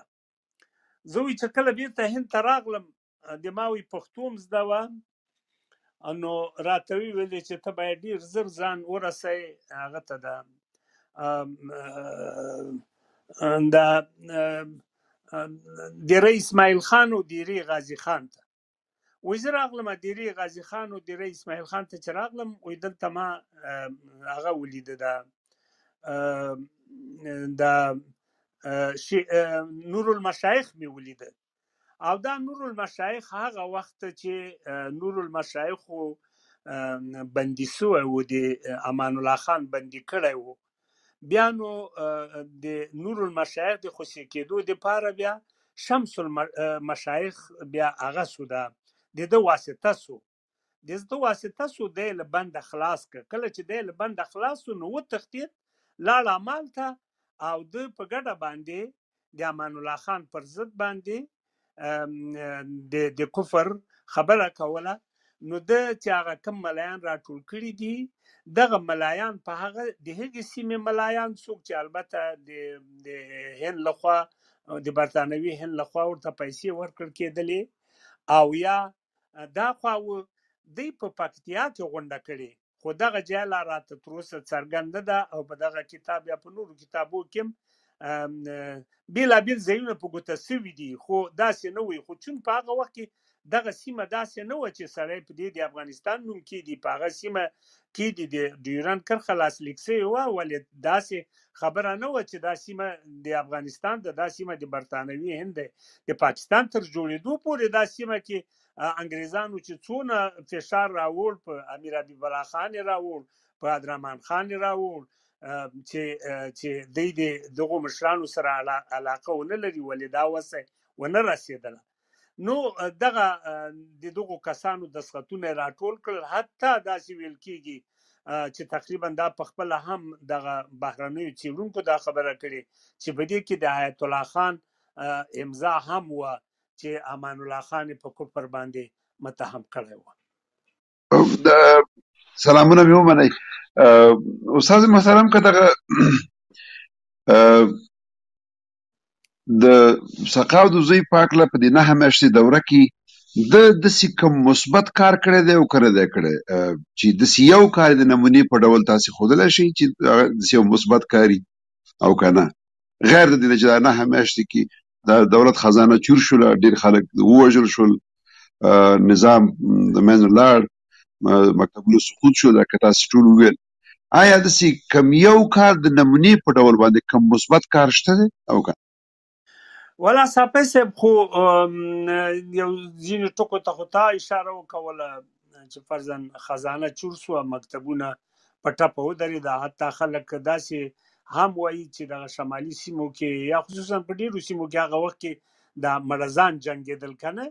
کرکان یا مړزان چې ورته وایي وایي حتی ده وایي چې خپله بیانه ورکوله وایي چې زه نور تاسې نه مالیه نه ټولوم زه خپل مړزان جنګوي تر دې سرحده خلک ده پسې دا خبره کوي او بل دغه نه میاشتې شاوخوا چې ده حکومت وکوه په دغه حکومت کې هم د آرام نه و ځکه خو جای جای جګړې وې د په ضد باندې نو دغه یو کار چې تاریخ تاریخي ارزښت ولري او په تاریخي میتود باندې یا د تاریخي ارزښتونو لمخې سړی هغه ته ګوته ونیسي دغسې یو کار باندې د سړي سر نه خلاصیږي یوازې یو تعداد دوستان دې ته دغه اشاره کوي وایي چې یو سلطنتي کورنۍ یو سلطنتي نظام یې ړنګ کړ یو سلطنتي کورنۍ یې له منځه ویوړه دغه یو ستر لاسته راوړنه وه چې ده دا کار وکوه او یو تغییر یو بدلون یې راوست فرضاً مثال د دې دپاره ښیي که موږ د هغه نه را شروع کو امیر دوست محمد خان نه را شروع کو وایو چې امیر دوست محمد خان پاچا و امیر دوست محمد خان نه وروسته محمد افضل خان پاچا و محمد افضل خان نه وروسته محمد اعظم خان پاچا و محمد اعظم خان نه وروسته امیر شیر علي خان پاچا و بیا محمد اعظم خان پاچا سو بیا امیر شیر علي خان پاچا سو د امیر شیر علي خان نه وروسته محمد یعقوب خان پاچا سو هغه نه وروسته د محمد افضل خان کورنۍ شروع کیږي چې نادر چې امیر عبدالرحمن خان ده یعنې امیر عبدالرحمن خان د افضل خان زوی د امیر دوست محمد خان مسای او د پاینده خان کړوسی او د جمال خان کړوسی نه خوا څه شي نوسه کودی که څه شي او کودی فرضاً دا د هغه وګوره دغه کورنۍ را روانه ده تر دغه سرحده پورې وایي چې حبیب الله خان دغو نه وکړ چې دغه کورنۍ یې له منځه یوړه.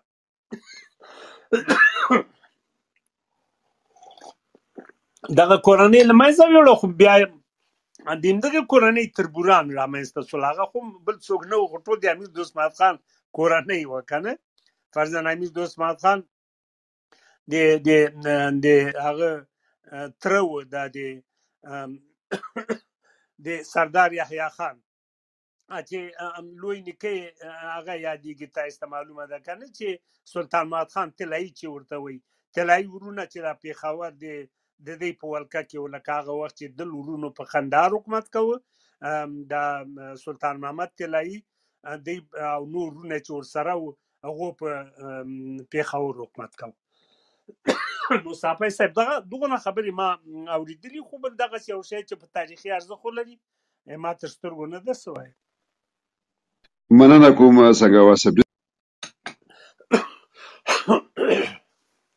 تابع صاحب محترم تاسو مایک خوروي او سرتور ورم تابع صاحب تاسو سلام تاسو ټول ته او ښاغلي استاد ته استاد یو پوښتنه دا چې د د غازي امان الله خان وړ ډیره ملګرتیا له اتاتورک سره درلودله خو کله چې دای وای حکومت یې وپرځول سي یا د دې تخت لار غوړه کړل یعنی حکومت خو سي کابي بلاته دا رښتیا و چې وای ام دی اتا ترک د ته وای وخت ویلو چې کته غوړي افغانستان ترقی وکي او پرمختګ وکي ته باید له طالب ملایانو نه ځان خلاص کړ د هیوا تیر وژغوري خو کله چې دای جلا وطن سه اهل ته وای بیا د پښمنی خو دلته کاش کې ما دی اتا ترک خبره منلې وای او د ملایانو مې افغانستان جوړول وای تر تر یو بریده تاسو خبر رښتیا دی خو په لږ تفاوت دی چې لاړ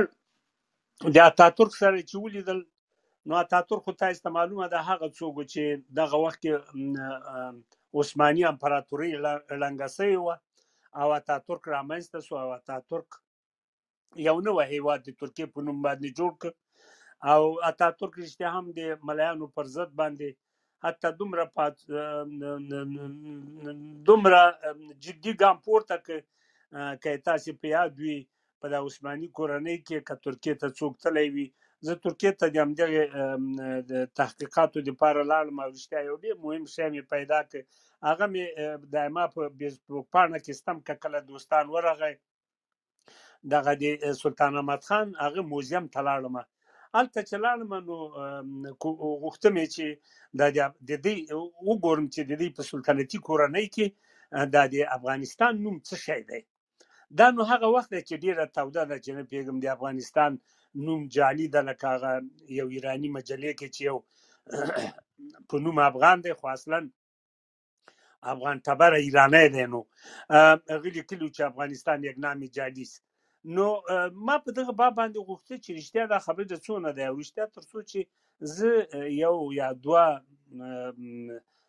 ریفرنس او یا لاسوندونه ماخذونه تر لاسه نکم ډیر په یوې خبرې باندې ټینګېږم نه وایم ممکن دا ما خبره د لومړي لاس نه وي شاید نور ډیر لاسوندونه وي چې دایما د دې څرګندونو نه د هغې خبرې یو داسې تاریخ پوه کړي وي چې هغه د هغه په نسبت باندې قوي وي نو ځکه مې دا خبره غوره وګڼله زه لاړم په دې موزیم کې مې یو قطب نما پیدا ولیده دا قطب نما مې ولوستله په دې کې نو دغه د ټول جهان د هغه وخت نمونه و دا نو کم کال دی دا اوولس سوه دا اوولس سوه نه دا اوولس سوه نه اوولس سوه اته دېرشم کال دی اوولس سوه اته دیرشم کال کیسه کوم دلته مې ولیدل نو زه اول کوشش کوم چې اریانا پیدا کړم او د اریانا نه وروسته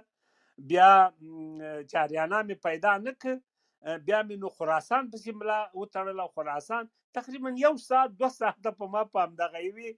هغه باندې تېر شو چې زه دغه نوم پیدا کړم ډېرې کیسې نورې رانه پاتې شوې خراسان دی تاسو یقین وکړئ دروغ درته نه وایم او خراسان مې ولاکه پیدا کړی بیا مې د افغانستان پسې وکړه د افغانستان نوم مې دونه زر پیدا کړ چې ښکاره په غټو ټکو څرګند لیکل سوي وو او څلور خواته ایلي وو غرب ته عجمستان غرب ته عجمستان یعنی هغه وخت کې د ایران نوم ایران نه و پارس هم نه و هغه وخت کې د ایران نوم عجمستان و ویل چې افغانستان یو هوا او لرغونی هیواد دی غرب ته عجمستان شمال ته شمال ته سوغدانیا سوغدانیا پیږي چې دا سوغدانیا تاریخي نوم دی سوغدانیا ته اوس هغه وایي دا سمرقند دغه سیمه سمرقند بخارا ورته وایي سوغدانیا او شرق ته چین او جنوب ته او یا جنوب ختیځ ته د هند یعنی دا څلور خواوې د افغانستان وي نو نو د د افغانستان او د ترکیې اړیکې تقریبا ډېرې پخوانۍ وې کله چې امان الله خان لال د اتاتورک سره یې ولیدل امان الله خان خپل پروګرامونه ورته تشریح کړل ورته ویل چې زه دغه پروګرامونه لرم غواړم چې په افغانستان کې په راتلونکي کې دغه پروګرامونه عملی کړم هغه چې دا د پروګرامونه واوریدل ورته ویل چې دا خو ډیر ښه پروګرامونه دي او حتی دا ځینې پروګرامونه به زه کاپی کم او خپل هیواد کې به عملی کم خو یو یو نصیحت مې واوره او دا د ما تجربه ده وي دا داسې نه دی چې زه تا نه به ځان ډیر لوړ وګڼم خو دا د ما تجربه ده که غواړي چې دغه پروګرامونه دې عملی کړي نو یو پیاوړی پوځ یو قوي پوځ دا باید ته ولرې چې هر څوک یې په مقابل کې جګیږي بې رحمانه یې باید وځپې لکه دا کارو چې ما کړی که یې ونه کړې نو ته دې دا خپل پروګرامونه پر مخ نسې وړی نو دغه خبره مې کوله درته مننه مننه سرتور صاحب مهرباني تاسو وخت سلامونه استاد محترم استاد ما پوښتنه دا و ما ویل مال تاسو په خپل باس کې ویل چې د غازی امان الله خان په وخت کې کس نوم را څخه هیر شو تاول ډیر واک هم درلودي اروپایي او امریکایي امریکا ته هم تللی او په غازی امان الله خان په وخت کې ډیر واک درلودي نوم یې راڅخه هېر شو دغه کس که چیرې محمد ولی خان ساتور صاحب محمد ولی خان ساتور بله صاحب دغه کس چې کله د سکاو د زوی سره اړیکه درلوده او برته د سکاو زوی واک ته رسیږي آیا دی په هغه وخت کې هم ورسره په تماس کې وو که نه مننه ډیره مننه محمد ولی خان که تاسو په یاد وي محمد ولی خان چې کله دغه هیوادونو تلار یو ډیره ښه قصه به درته وکم خو کش کې دا ځینې کیسې هغه بیرته هغه ولې خبرې ته ځم چې موږ له لاندې نه پاس ځو که له پاسه لاندې راغلي وای ما کار هم اسانه کېده تاسې هم اسانه کېده خو خیر یو څو ګودې د بی بی فاطمه په نوم باندې او په خیال مې دغه نوم دی خو خیر دی بشپړ نوم به بیا له خیره درته وګورم خو هم دغه نوم دی دا هغه برتانوي هند کې استوګنه وه او دا د امان الله خان د خور په نامه چې دا اصلا د شاه شجاع د کورنۍ حتی د ځینې تاریخونه وایي چې د شاه شجاع خور وه خو اصلا د شاه شجاع خور هم نه وه خو د دغې کورنۍ سره یې تړاو درلوده دې یو الماس درلوده هغه الماس ته یې دریای نور ویلې کوی نور دریای نور دوه الماس ډیر نامتو خو چې دی دا الماس له خپلې کورنۍ چون دا یو د شاهي کورنۍ ته منسوب وه هوښیاره ښځه وه دې دا الماس ترلاسه کړ او دا په همدې الماس په هند کې په برتانوي هند کې ډیره مشهوره وه کله چې محمد ولي خان ایټالیا ته لاړ په ایټالیا کې هم د انګریزانو له غبرګون سره مخ سو خو کله چې امریکې ته ته مخکې لدی چې د امریکې ته ورسیږي نو دی دغه خزه دغه هغه سلطانه دا پوکړه چې ته لاړ لسه امریکا ته وایا چې زه د امان الله خان خورم یعنی د شاه شجاع خور نیم د امان الله خان خورم دا هلته لاړه سره له درې زمنو نو هلته واشنګټن پوسټ هم تقریبا یو مقاله پی ولیکله نیویارک ټایمز هم پی یو مقاله ولیکله دا مشهور کړه چې امان الله خان خور امریکا ته راغلی دی کله چې محمد علي خان ورغی نو دی د دې غبرګون سره مخ شو نو ورته ویل چې دلته د امان الله خان خور د تې پیژنې نو ورته چې اوس خو د امان الله خان ټول خورګانې پیژنم خو هغه دلته نشته دلته نه دی راغلی نو تاسو ته مې په تیر بحث کې نه پیګم دا کیسه وکړه کنه چې امان الله خان دوه خورګانې یو سردار اشم خان ته ناسته و بر مالشاه شاولی خان ته و خو هغه هغه نه طلاق واخیسته د هاشم خان نه طلاق واخیسته چې بیا خپل تروز سره واده وکړ خو مارشال شاه ولی خان ته تر پایه پاتې شو هغه ویل چې اوس یې خورګانې پیژنم خو خور نشته هغه سره کانفرنس ونیو وای چې ته دای پیژنې وای چې نه زه خو دای نه پیژنم نو هغه اخبار کې راغلل و چې عجبه دا ده چې د امان الله خان خور خپل یو وزیر د کابینې نه پیژني دا اصلا توطیه و د برتانوي هند چې افغانستان په رسمیت ونه پیژندل شي نو که زه لږ شاته لاړ سم ګوره د امان الله خان په وړاندې داسې توطیه وي لکه مخکې چې بحث په وکاو چې څنګه دغه یو لوی هیواد چې انګریزانو ته ماته ورکړه او بیا د غله له لاسه ماته خوري یعنی دغومره انګریزان دغه سیمه کې متوجه وو چې څه قسم امان الله خان له پخو وغورځي او دته زمينه برابره کړي چې دی له منځه ويسي سقاو یو وسیله و د لنډمهاله دپاره یې سقاو زوی یعنې چا دغه دې ته اوږه نه سوه ورکولی چې د امان الله خان په وړاندې پاتې سي راپاڅي خو داسې یو څوک یې پیدا کړ نو په دغه اساس باندې کله چې د الته لدی پښتون سره مخامخ کیږي نو د دغه سپیناوي کوي چې نه دا یمن الله خان خور نه دی دا بل څوک دی یعنی دا سړی دغه مر وړاندې و خو لبد مرغه لبد مرغه نه یوازې دی شیر احمد خان په نوم یو بل څوک چې بیا رئیس تنظیمه سو په ننګرهار کې دا هم هغه ته ورغی د انګلیس استازي ته ورغی او په ډیر زغر دی ورته ویلې وای که چیرته وخت راغی اول کس به زه یم چې په امان الله خان به وار کوم ته ګوره دا دومره نږدې و امان الله خان ته چې چې د د انګلیس سفیر ته چې په کابل کې هغه ته راپورونه هم ورکي دا هر یوې او بل اخره د هغه په وړاندې باندې پروپاګان هم کوي درېږي نو دغه محمد ولی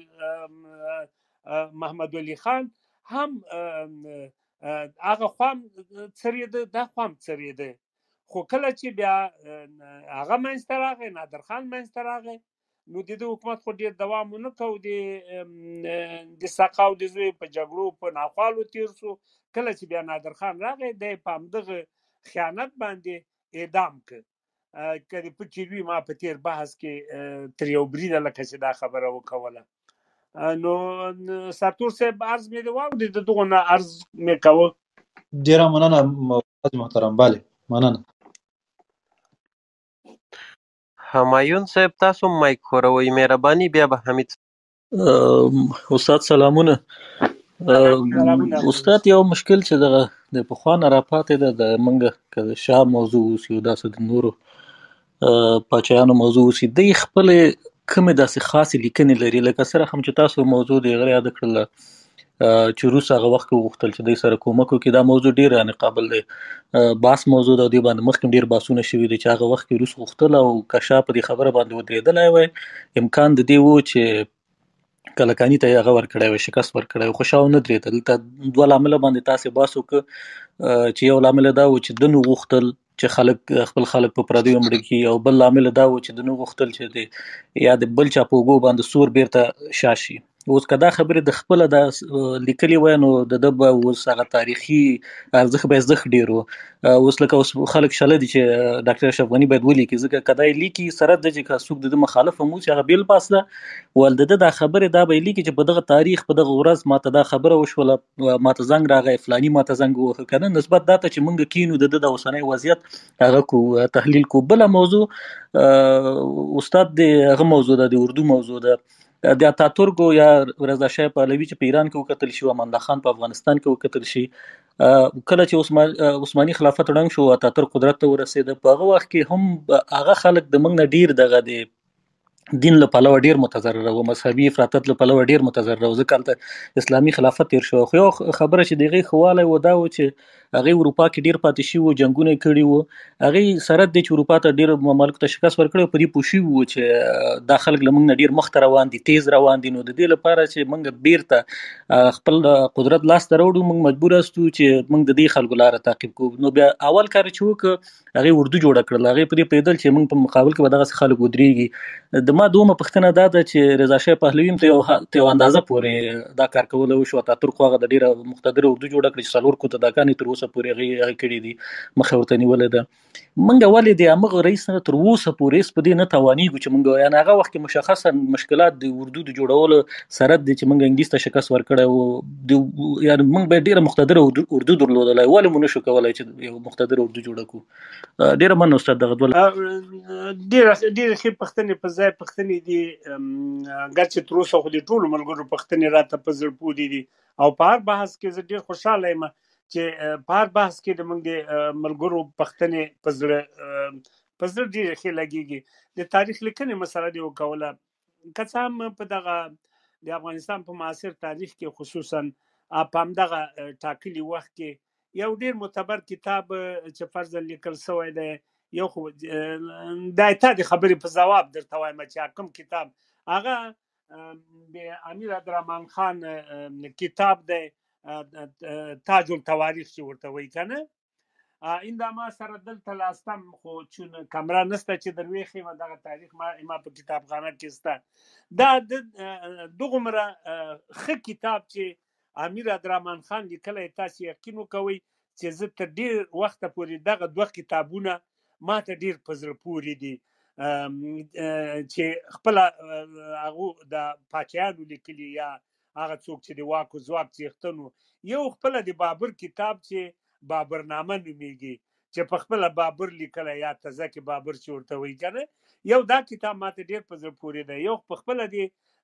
امیر عبدالرحمن خان دا کتاب راته په زړه پورې دی. یعنې امیر عبدالرحمن خان هېڅ خبره نه ده پرېښې، څه یې چې کړي په ډاګه ویلي، پلانکی مې مړ کړ، پلانکي ځای ته لاړم، د خپل تره په د تره زوی عیسی خان خي د هغه په ضد ودرېدم، پلانی مې داسې کړ، دا ټولې کیسې یې کړي. بابر کتاب ته چې راځې درته نر غوندې وایي چې زه افغانستان ته راغلم، د پښتنو له ککره مې منارونه جوړ کړل، یو منار مې پلاني ځای کې ودراوه، چې په هغه کې زر کسانه او بل کې مې څلور سوه د ککرو منارونه جوړ کړل بل مې دا کړل دغونه پښتانه مې مړه کړل او دا مې کړل دغونه مې بې پته کړل دونه مې بې عزته کړل دغه ټولې خبرې نه پټې یو کایک درته کوي او له بده مرغه چې د هغه نه د امیر عبدالرحمن خان نه را په دې خوا بیا هیڅ پاچا دا کار نه دی کړی فرضاً مثال د د امیر عبدالرحمن خان نه وروسته حبیب الله خان راغی حبیب الله خان باید د خاطرو په نوم او دا یو مهم دود دی په دې اروپا کې موږ تاسو یا په اروپا کې یا په امریکا یا په دغه پرمختللو ټولنو کې یو هر څوک د خاطراتو یو کتاب لیکي له پخوا نه دغه دود روان دی ولې له بده مرغه فرضاً حبیب الله ونه لیکه امان الله خان په وختو کې که څه هم یو تعداد لیکنې راپورته سوي دي د حبیب الله خان وخت هم ښه هغه سراج وبخښئ هغه سراج الاخبار سراج الاخبار یو شمیر مسایل راخیستي دي فرضاً هغه وخت کې دا خبرې وې تر یو بریده د امان الله خان وخت کې هم ښه دی فرضاً ځینې لیکنې سوي دي ایرانیان هم کړي دي خو خو موږ تاسو لاره پکې پیدا کوي سو سره دی هغې چې ایران کې چې هغه یو چا مشهور سړي لیکلي دي تاریخ سیاسي افغانستان تقریبا دوه جلدو کې دی او د ما په کتابخانه کې هم تقریبا دغه یو جلد یې سته خو هغه یو جلد یې نسته همغه مهم جلد یې چې دی همغه چې د افغانستان په باب دی هغه راسره سته فرضاً خپلې اه، ببولالې لیکلي خو تاریخ پوهان ته کولی شي چې مطلب واخلي نو د امان الله خان په باب لیکنې سوي هم په داخل کې هم په خارج کې خو زه یې تا د خبرې پخلی کوم چې باید د خلوص ته د خپل باید دا کړی وای یا کله کله چې اروپا ته لاړ هلته باید کړی وای ګرچې په اروپا کې د ډېره سخته تېره کړې حتی ته دې چې د په اروپا کې موچي و موچیګیري یې کوله ځکه چې د چې هغه ته خط ولېږه دغه خپل اوښي ته یعنې مارشال شاولي خان ته چې زه ډېر بې وسه یم او پیسې نه لرم ما هلته جایداد ده که جایداد خرڅ کړئ نو ښه به بیا په هغه دی ورته نادرخان ورته جرګه راوغوښته په جرګه کې خو چون ټول هغه کسانو چې د د نادرخان د خوښې کسانو هغو پریکړه وکړه چې نه د د یو ملحد په توګه له افغانستان شړل شوی دی د سره باید مرسته ونسی نو دالته مو چې ګیرت کو دغه ستونزه به تر یو بریده وه او یا نو نه پیږم چې هر لامل وخو باید دا کار سوی وای نه بده مرغه چې دا کار ونسو یا د هغه نه ورسته امان الله خان نه ورسته فرضاً که نادر خان وای د نادر خان په وختو کې خپل نادر خان که څه هم نادر خان کم و هغه څلورو کلو شاوخوا کې و ظاهر خان ګوره ظاهر خان که څه هم خاطرات لیکلي و له بده مرغه هغه خاطرات نه پیږم چې ولې ولې ولې راونه وتل او دا په هغه وخت کې دا ژمنه کړې و چې زه چاپوم خو بیرته دا خبره واخیسته ویل چې نه ځینې به رانه خپه سي نو ته ګوره چې هغه څه لیکلي خو تر اوسه نه دي راوتلي همدغسې داود خان همداسې راوروسته تر اوسه پورې تقریبا دغه دود نه ده خو دغه ډیر ښکلی دود دی ښه دود دی باید په پام کې ونیول شي بله خبره بیا تا د اتاترک وکړه بله د اتاتورک دې کې هیڅ شک نشته چې افغانستان هم په خپل وخت کې مهم هېواد و تاسو ته معلومه ده چې احمد شاه ابدالي مشهد نشاپور کشمیر او ډیلي امو سون هند سون سین دا د موږ څلور خواې وې دې کې هیڅ شک نشته خو له بده مرغه چې د هغه نه وروسته درې نسله یعنی تر د احمد شاه ابدالي تیمور شاه ابدالي او زمان شاه ابدالي دې نه وروسته نور منک هغه دوه بدمرغه هېوادونه چې د منک په په ککره سپاره و چې یو برتانوي هند و او بیا دغه وخت کې انګریزانو په منک باندې درې بریدونه وکړل له انګریزانو وروسته روسانو په منک برید وکړ له هغه نه وروسته هغه د امریکایانو په منک برید وکړ ګوره موږ منظمه اردو د امیر شلی خان په وخت کې درلوده منظمه اردو دغه نمونه چې اوس تاسو ګوري چې ټولای مشر او دا او دا دا دا دا دغه ټول نمونه د امیر شیر خان په وختو کې خودل سوي د امیر شیر خان په وختو کې خو اردو درلودله خو له بده مرغه چې وخت چې امیر محمد یعقوب خان راغی انګریزانو حمله وکړه یمنګه اردو ماته سوه انګریزانو د موږ اردو ماته کړه انګریزانو موږ نه پریښودو چې دلته اردو ولرو امیر عبدالرحمن خان بیا اردو جوړه کړه ډیره ښه اردو یې جوړه کړه ډیره منظمه قوي پیاوړي خصوصا استخبارات په یو کور کې بچ درې تنه ناستو نو که یو به زوی و بل به مور و بل به لور یا زوی و نو زوی له لور نه ډارېده لور له پلار پلار له ښځې نه ډارېده یعنی استخبارات دغه دومره قوي وو د حبیب الله خان په وختو کې بیا هم تر یو بریده دغه اردو وساتل سو د امان الله خان وختو کې بیا د اردو ماته سو یو خو امان الله خان په خپل ډیره اتکا اقتصادي چارو ته وکړه د چین اروپا لیدلې و د فکر کو چې دا اروپا به ډیر زر دغه اجتماعي اقتصادي او فرهنګي پرمختګونه به په افغانستان کې وګورم دغه یو خیال و دا یو تیروتنه وه نو د ډیر پوز ته هغه ونکو حتی پوز رنګلیک یعنی ډیر کم اوس پرځم په منظمه اردو هم دغه 15000 کسانو چې په یو لیوا کې منظ و نو دا 15000 کسانو باندې کېده دغه قوي منظمه و او له بده مرغه چې د غو روحیه دونه مړه شو چې په 15000 خو ډیر شي د کابل د پاره نو دونه منظم خو هغه سقاو زوی خو منظم هلته زر زر نه هلته سل کسانې منظم نه درلودل خو نور یې لا جاري چې ورپسې وه ورپسې وه غږ ورپسې اوس یو کله دا اردو هلته ماته سوه د ظاهرشاه په وختو کې اردو جوړه سوه دغه وخت کې چې داود خان کودتا وکړه دلته په اردو کې ایډیالوژي ورننوته د د کمونستانو انقلاب چې راغی دلته اردو ټوله سیاسي سوه خو بیا هم که سیاسي اردو وه فرضاً نجیب وسو کولای تر یو بریده پورې فرضاً د جلال آباد د جګړې برید تاسې ولید خو هغه بیا چې مجاهدین راغلل هغه اردو ماته سوه اوس چې دغه اردو جوړه سوه دا تاسې ولید دا شلو کلو کې اوس دا اردو بیا ماته سوه له بده مرغه دغسې خبرې دي همایون جان نو راپېښې دي بل تا د رضا شاه پهلوي خبره وکوله د پهلویانو تا ته معلوم دی چې ګوره که څه هم موږ هم نه وایم چې موږ د د د د ایران نه کم تاریخ لرو خو د موږ تاریخ هم چې را شروع کې کله خیر ژوندي وو زه به بیا تاسو ته د لرغوني تاریخ د افغانستان تشریح کوم که فرضا مثال د تمدن مسلې موږ ډیر پرمختللی کتاب هغه وخت کې ویدي سرودونه او استایي سرودونه درلودل په سیمه کې نه هیڅ چیرته نه و یوازې په په یونان کې موجود و چې هغه هغه ورته اودیسا فرضاً موږ هغه وخت کې ته ګوره داسې یو پرمختللی فرهنګ درلوده هغه وخت کې فرضاً موږ د د د د د یما غوندې یو افسانوي اتل درلود غرشاسب مو درلود غرشاسب تقریبا په کشمیر کې به جرګې دایرولې همدغسې وروسته پرځم پسې راځه ساکان هم درلودل د اشوکا وبخې اشوکا نه بل لیاده مې ووته د کنشکا پرځم په سطح امپراتوران هم درلودل یعنی ساکانو ساکان نه کوشانیان کوشانیانو نه یفتلیان یفتلیانو نه همداسې پسې راځه این تر هغه پورې وبخې تر احمد شاه ابدالي پورې او که دا مابین کې ووایې موږ غوریان درلودل چې شهاب الدین غوري لومړی اسلامي هیواد په هند کې جوړ کړ غوري همدغه سي سلطان محمود غزنوي رواخله د تاریخ یعنی موږ هم لرو کنه ولی هغه هم لري د رضا شاه پهلوي ته یو میراث پاتې وو که فرضاً د هغه نه راواخلو د هخامنشیانو نه راواخلو هخامنشیان کروش او هغه داریوش فرضاً که د دین رواخلو پسې راځه ساسانیان ساسانیان رواخلو ابلې ناغه د صفویان صفویان نه رواخله قاجاریان قاجاریان نه رواخله همدغه پهلویان چې رضا شاه پهلوي چې دوی تم دغه یو میراث پاتې وو ولی دوی دغه میراث نه ځان وساته، که څه هم په دویمه نړیواله جګړه کې زیان ولید، خو بیا هم دی کوشش کاو چې د چا سره واقع نه شي، د موږ لویه بدمرغي دا وه چې موږ د دوه سترو هیوادونو په منځ کې راغلو، موږ د سړې جګړې ښکار شو، موږ د د د د د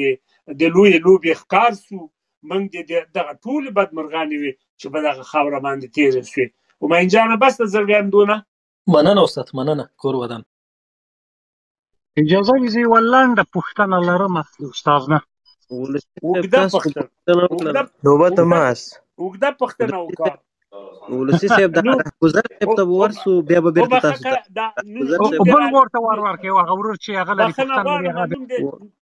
نوم دې راته وایه زرګني رهگذر حمید رهگذر پښتنه لري استاد محترم ما عرض سلام ادب دارم حضور همه دوستا مهرباني حضور آ- آقای سنگروال مجید قرار دوستای دیگه من متاسف هستم اه، که اه، من نمیفهم که آقای سنگروال این تاریخ از پت خزانه آورده بود از کجا آورده بود بسیار به شکل قدماندانه اگرچه من بعضی مواردی را که حمید ذکر صاحب کردم حمید صاحب لطفا در اه، ادبیاتتان استاد محترم بسیار سن بالا داره سوال مشخص تان مطرح کنین آه استاد محترم ما ما در بعضی مواردشان اه، مشکل ندارم اما تاریخ وارونه جلوه دادن درست نیست شما بین تمام سیاهی نمایی ها را بعد در مورد عبیبالای کلکانی کردن در حالی که لازم نیست که یک کسی, یک کسی که حداقل هرچی بوده اما شما به نام توهینآمیز به اگرچه بچه سقه و کدام لقب زشت نیست مثل که در ترمز چی اتفاق بر اشرف افتاد یا برای در کاوره های شما لطفا سوالتان مطرح کنین اگر نه مایکتان بند میبندم شما حق ندارین در موضعی که مشخص شده سوال داشته باشین بفرمایین اگر نه لطفا روم اقلال رهگذر رهگذر صاحب خیر از سوال کنین سوال مشخص چی است که ما و شما گپ بزنیم استاد محترم ما تمام موضوعات در مورد الولای کلکانی اگرچه ما بعضی مواردش تایید نمی کنم آنچه اتفاقی که در اوایل کودتای یا بگویم یا هر انقلابی بگویم که در مورد اتفاق افتاد قوم سلیمان خیل پیش قدم بودن سایر کسایی که در جنوب بودن اینا در قیام که علیه خان صورت گرفت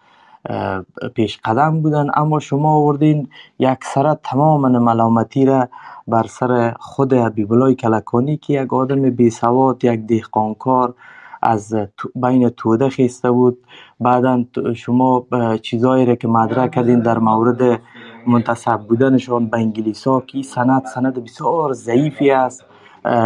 که بعدا به سفارت انگلیس رفت و اینا در حالی که شما اینجا نادر خان اعلیحضرت خطاب میکنین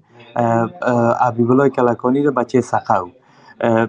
نادر خان از کجا آمد از کجا منشه گرفت بعدا چه جنایتی را در شمالی در کاپیسا در پروان راگذر صاحب امی سوال اگر اجازه بتین امی سوال ما برای شما حل میکنیم اگر اجازه شما باشه صد اجازه است استاد بزرگوار خب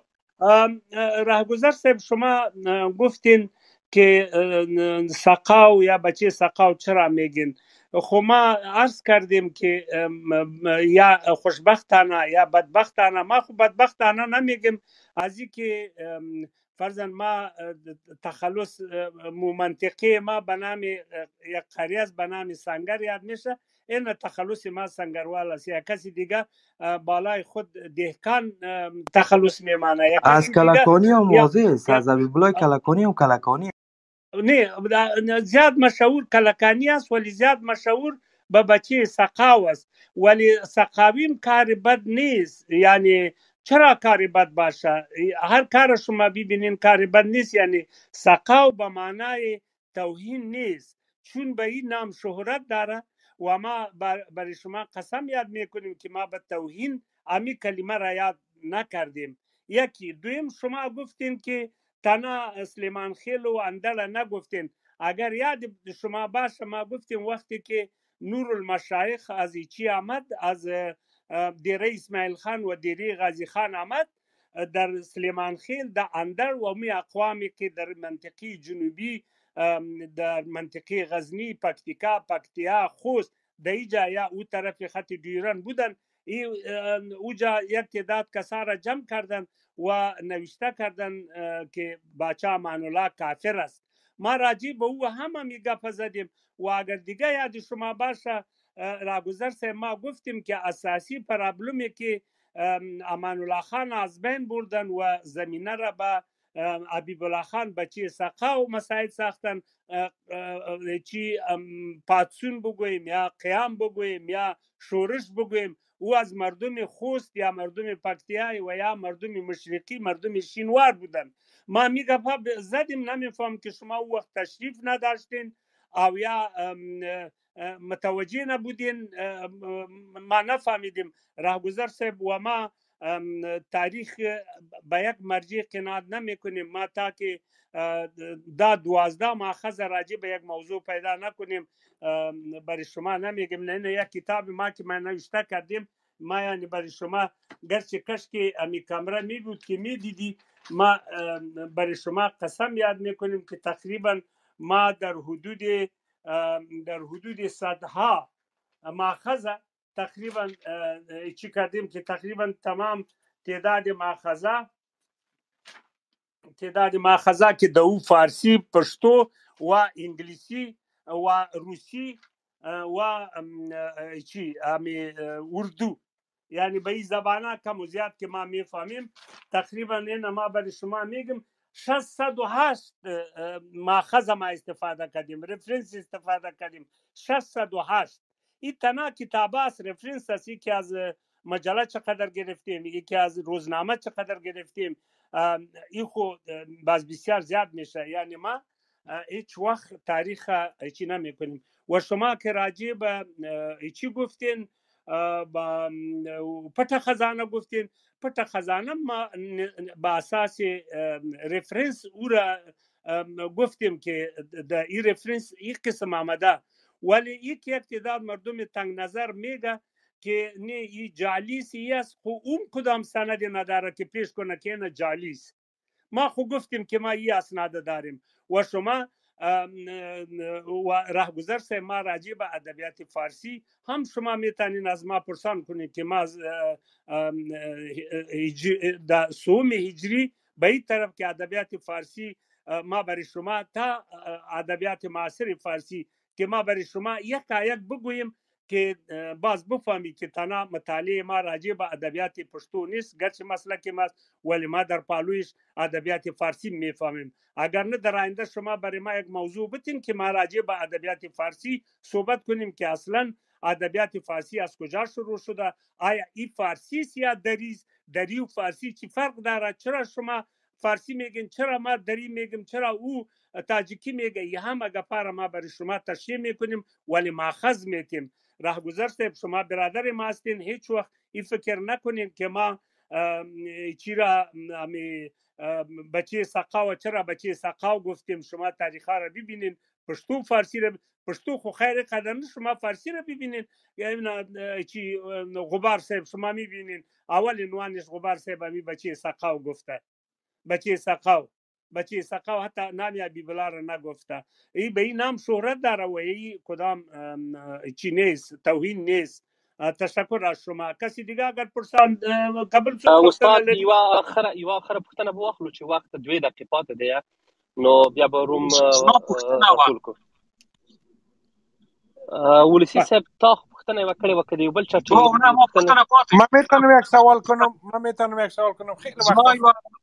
یو پښتنه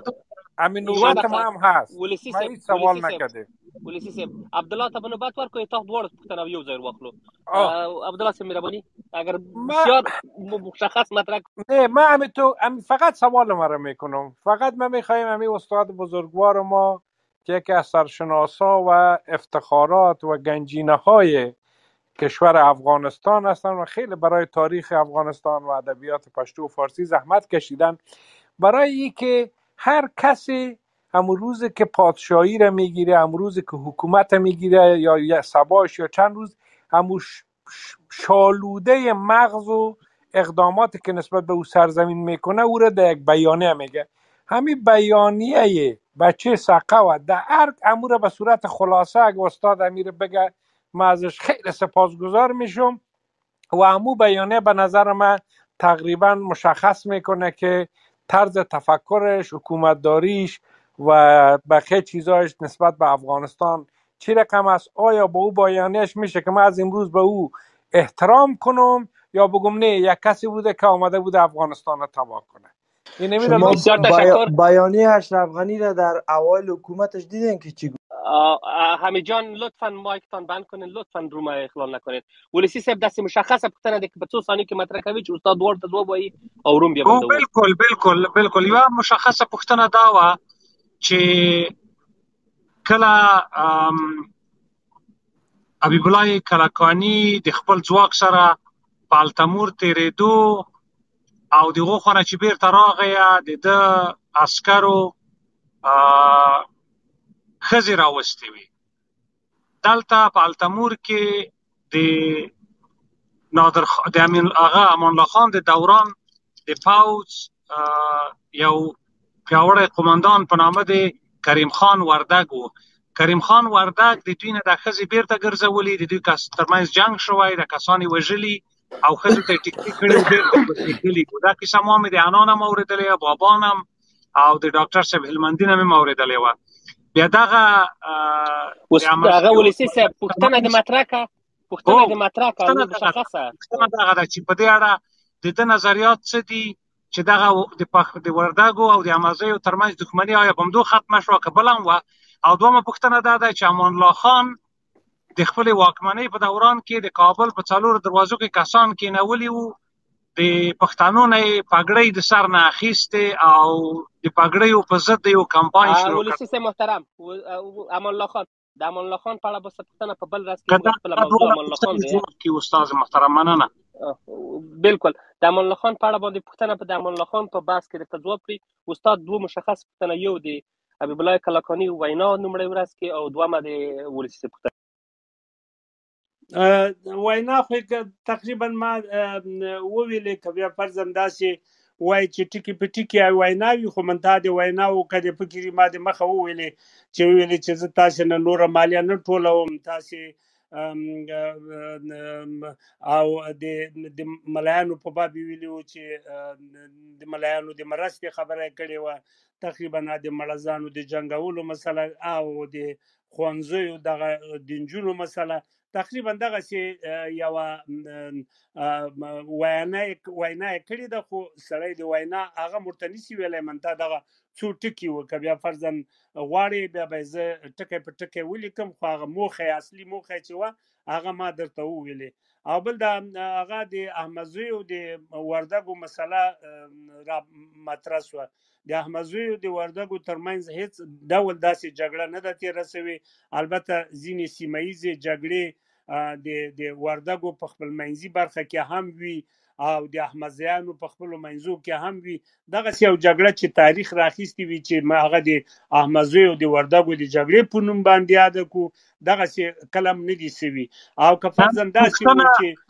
پوښتنه دې پوښتنه مو وانه خسته فکر کړم ولسی سے محترم لطفا لطفا لطفا وخت ختم دی ریکورډ ریکورډ اساسي جګړه ولسی سه محترم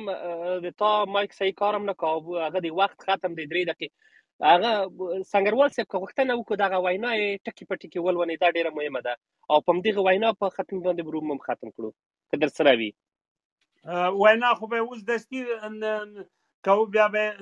رواخلم داسې خو به ټکی په ټکی را سره نه وي منتاغه منسپانګه هغه و چې ما تاسو ته وویلې که بل ځل بیا فرضاً تاسې وایې چې هغه ټکي په ټکي ووایه هغه به بیا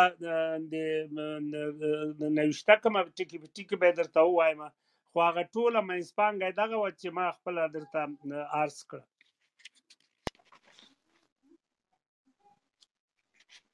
مننه که استاد در سره په لاس کې وي خو به وي کني وي روم به پم دې باندې راوتړو یار دستی خو دستی خو لاس کې را سره نسته زړګی می صحیح شو ډیر زیاته مننه استاد د تاسو نه چې یو شای چې ملګرو ته وایو په بخښنه سره چې د ټولو پښتنې روانه خستلې استاد تر دې زیات اخو تخپل مشکلات لري بیا سهار به د وظیفې ته ځي نو د ده دوه ساعته موږ ته وخت راکړی وي نن هم دوه ساعته او پنځه دقیقې شولې د تاسو ټولو نه مننه چې په حوصله باندې بحث واردله زموږ دغه بحثونه کاملا علمي بې طرفه هیڅ نه وه په دې کې بغیر د علمي او ریفرنسونو نه بل څه نشته دي د ملګرو پوښتنې بخښنې سره و لطفا کل لطفا لطفا لطفا کل بس نو لطفا ک نه دا کدا ک عبد الله فوشنجي سره دغه دغه وکی دغه بیانیه باندې دغه دغه ختم کی کاغه سره ای دا بیانیه او اکبری صاحب د آینده بحث که هم هم دلته اعلان وکي په اخر کې چې په آینده کې موږ چا باندې بحث او او په راتلونکي بیا د سنگروال سره سره موږ په دغه ورځ باندې لدریو نه تر 15 پورې د واشنگټن ډي سي په وخت د اتو نه تر لاسو بجو د لندن په وخت باندې د افغانستان په وخت نه پیږم څومره وخت دی د استرالیا د اوو بجو نه تر نه بجو پورې دا بحث لرو موږ دا باسونه سلسله وار دي د سردار داوود خان نم شروع کړی دي اوس راتونکي باسم په امان الله خان باندې پس د امان الله خان نه د استاد سره و مشوره کوو که د هغه نه را شروع کو د د ځکه دا یې همیش وایي چې د پاس را شروع کونو بیا به د احمد شاه بانه کار تر شروع کو تر امان الله خان پورې د هغه د استاد سره په مشوره باندې نو سنگروال صاحب تاسو اکبری صاحب اکبری صاحب اوس خو اوس خو موږ تقریبا رسیدلی و دغه کدی کدی خوخه وی تاسو د ملګرو دغه د دې بسې خو د امان الله خان بحث دی کنه وو وو امان الله خان امان الله خان شاته بیا د حبیب الله خان حبیب الله خان شاته د هغه د امیر عبدالرحمن خان دغه درې درې به هم دغه سي دا اوس راغلي او درې به اوسي روبیال تغه دومره انګلیس افغان جګړه چې کیږي دې ته بیا شاته نوزو دا که بیا هم خوخه وه د هغه نه را شروع کو دا د د میرویس لیکنه کده هغه نه را شروع کده ما د احمد شاه باره چار څه تاسو وکاو بیا خو خم چې ملګرو سره به بیا یو خو کاپی وکم د ټولو د دوه سبې روم په جوړ کو خو خدي چې بیا میرویس لیکنه هم شروع کوله که احمد شاه دالین هم شروع کوله خو معمولا دغه معاصر تاریخ منګ پانتون کیم چې ما تدریسوه تقریبا د احمد شاه ابدالي نه شروع کوه کم خوخوي زویم راځي د هغه نه به احمد شاه ابدالي نه به شروع کو میرویس نیکه ته به بیا هغه د افغانستان د منځني تاریخ په نوم باندې یا که فرضاً ویلیم چې راځي د هغه نه شروع کوو لرغوني تاریخ نه همداسې په خیر که ژوندي وو راځو راځو راځو ختم بیا په هغه باندې په میرویس نیکه کیږي ځکه میرویس نیکه نه ورسته بیا افغانستان میرویس نیکه نه ورسته نو خمه استاد او اشرف او دغه نه ورسته او بل دغه دی هغه پښتنه را جوابوي استاد کنه د حبیب الله کرام بل و ولسی سه محترم لطفا خو موږ کور ته بیا دی بخنه بخنه غواړم بیا تاسو بخنه غواړم دغه ولسی صاحب نوم اش... نوم بدل دی او غږ آشنا دی دا بل څو بل اصلي نوم دی ورته فهیم وردګ دی فهیم وردګ فهیم وردګ فهیم وردګ خو اینا اینا ما او پیزاندل ته هر چیرته هم دغه سي هغه کې دا دغه سي غم جوړوي پښتنې کوي چې په تیل سرم نه پیږي په بخو هم نه پیږي دغه تا اوس دلته دی احمدزي خبره دی ورده خبره دلته څه مثال درلود چې تا پکې را پیدا کړ او هغه دی استاد محترم ډیره زیاته مننه کته د روم ځې هم هغه شوې لای شي فقط موږ د پوشنجي سم نصر په کده سره وینا وی دا مغه وینا نمړی موږ دغونه اورو استنو روم بندو کوشنجی صاحب د تاسو سره وینا شته ما فعلا امرای من نیستم و یکی از برادرها گفت امورا اگه او داره بخوانه خیلی خوب میشه ما میخوایم امورا اگر کده چا سروی کده چا سروی نو مایک دی وخوری وی کنی وی روم با پم دی باندې وتړو هغه پوشنجی صاحب پوی نسو هغه هغه ویل لوس کاکا ویلې وای ک پوشنجی صاحب سره یو دی وای نو هغه سوی تفاهم صحیح شو اکبري صاحب درې موضوع د وینا چې ډېر مهمه دي ټولو تاریخو راغستې دي د ټول نه یو موضوع د استاد یاد کړ مالیاتو موضوع چې د مالیات سیستم مکمل لمنځه ویوړ او اعلان وکړ چې زه د غرپې چې د مالیاتو په نامه باندې راټولې دي پس ورسل دي ملایانو ته ورکوم چې دوی په خپل هغه کې چای او نور شان یاد کړیو چې دا پکې وخوري دومره موضوع ډیره خطرناک واغه دا و چې پس لدی به کومه پیسې چې د مکاتبو لپاره هغه شوې به راټول شوې پس دی به د مکتب د شیطانی کورونه نه جوړی کی او د رپی به په مسجدونو باندې مصرفيږي چې د مالیاتو سیستم او دغه سیستم چې د اردو دغه فچ کړه او دا تاریخ ډیر په دې باندې ډیر اته بيخي دغه کم تاریخونه چې موږ د فارسی ورونو لیکلي دي هغه خپل هم دغه موضوعات په کراغستې دي چې مشخصا انور خبره د مړزو د خو په صورت خو دغه موضوع د دوه درې موضوعات ډیر مهمه دي ډیرو بخښنه چې ما مداخله وکړله ډیره ډیره زیاته مننه ډیره زیاته مننه د ټولو د ګډونوال نه مننه قرار صاحب که تاسو په اخر کې کوم میسج لرئ یا کنيوي روم درتړو نو قرار صاحب هم نشته دی نو د ټولو ګډونوالو نه زه خاصه مننه د موډریټرانو نه کوم چې همیشه په دغه بهیر یا دغه سلسله کې د موږ سره مرسته کړې ده د ټولو اوریدونکو نه مننه دغه بسونه به زموږ روان وي دا پرته له هر نوع تملق نه صرف سیاسي او په او صرف علمي او په دلایلو او په ریفرنسونو ولاړ باسونه دي دا باسونه موږ ثبتېږو یوټیوب ته هم پورته کوو په کلب هاوس کې بیا خلک اوریدلی شي تاسو ټولو نه مننه هیله ده چې ښه وخت ولرئ زه روم تړم تر بیا په بل بحث کې لیدلو کې ښې چارې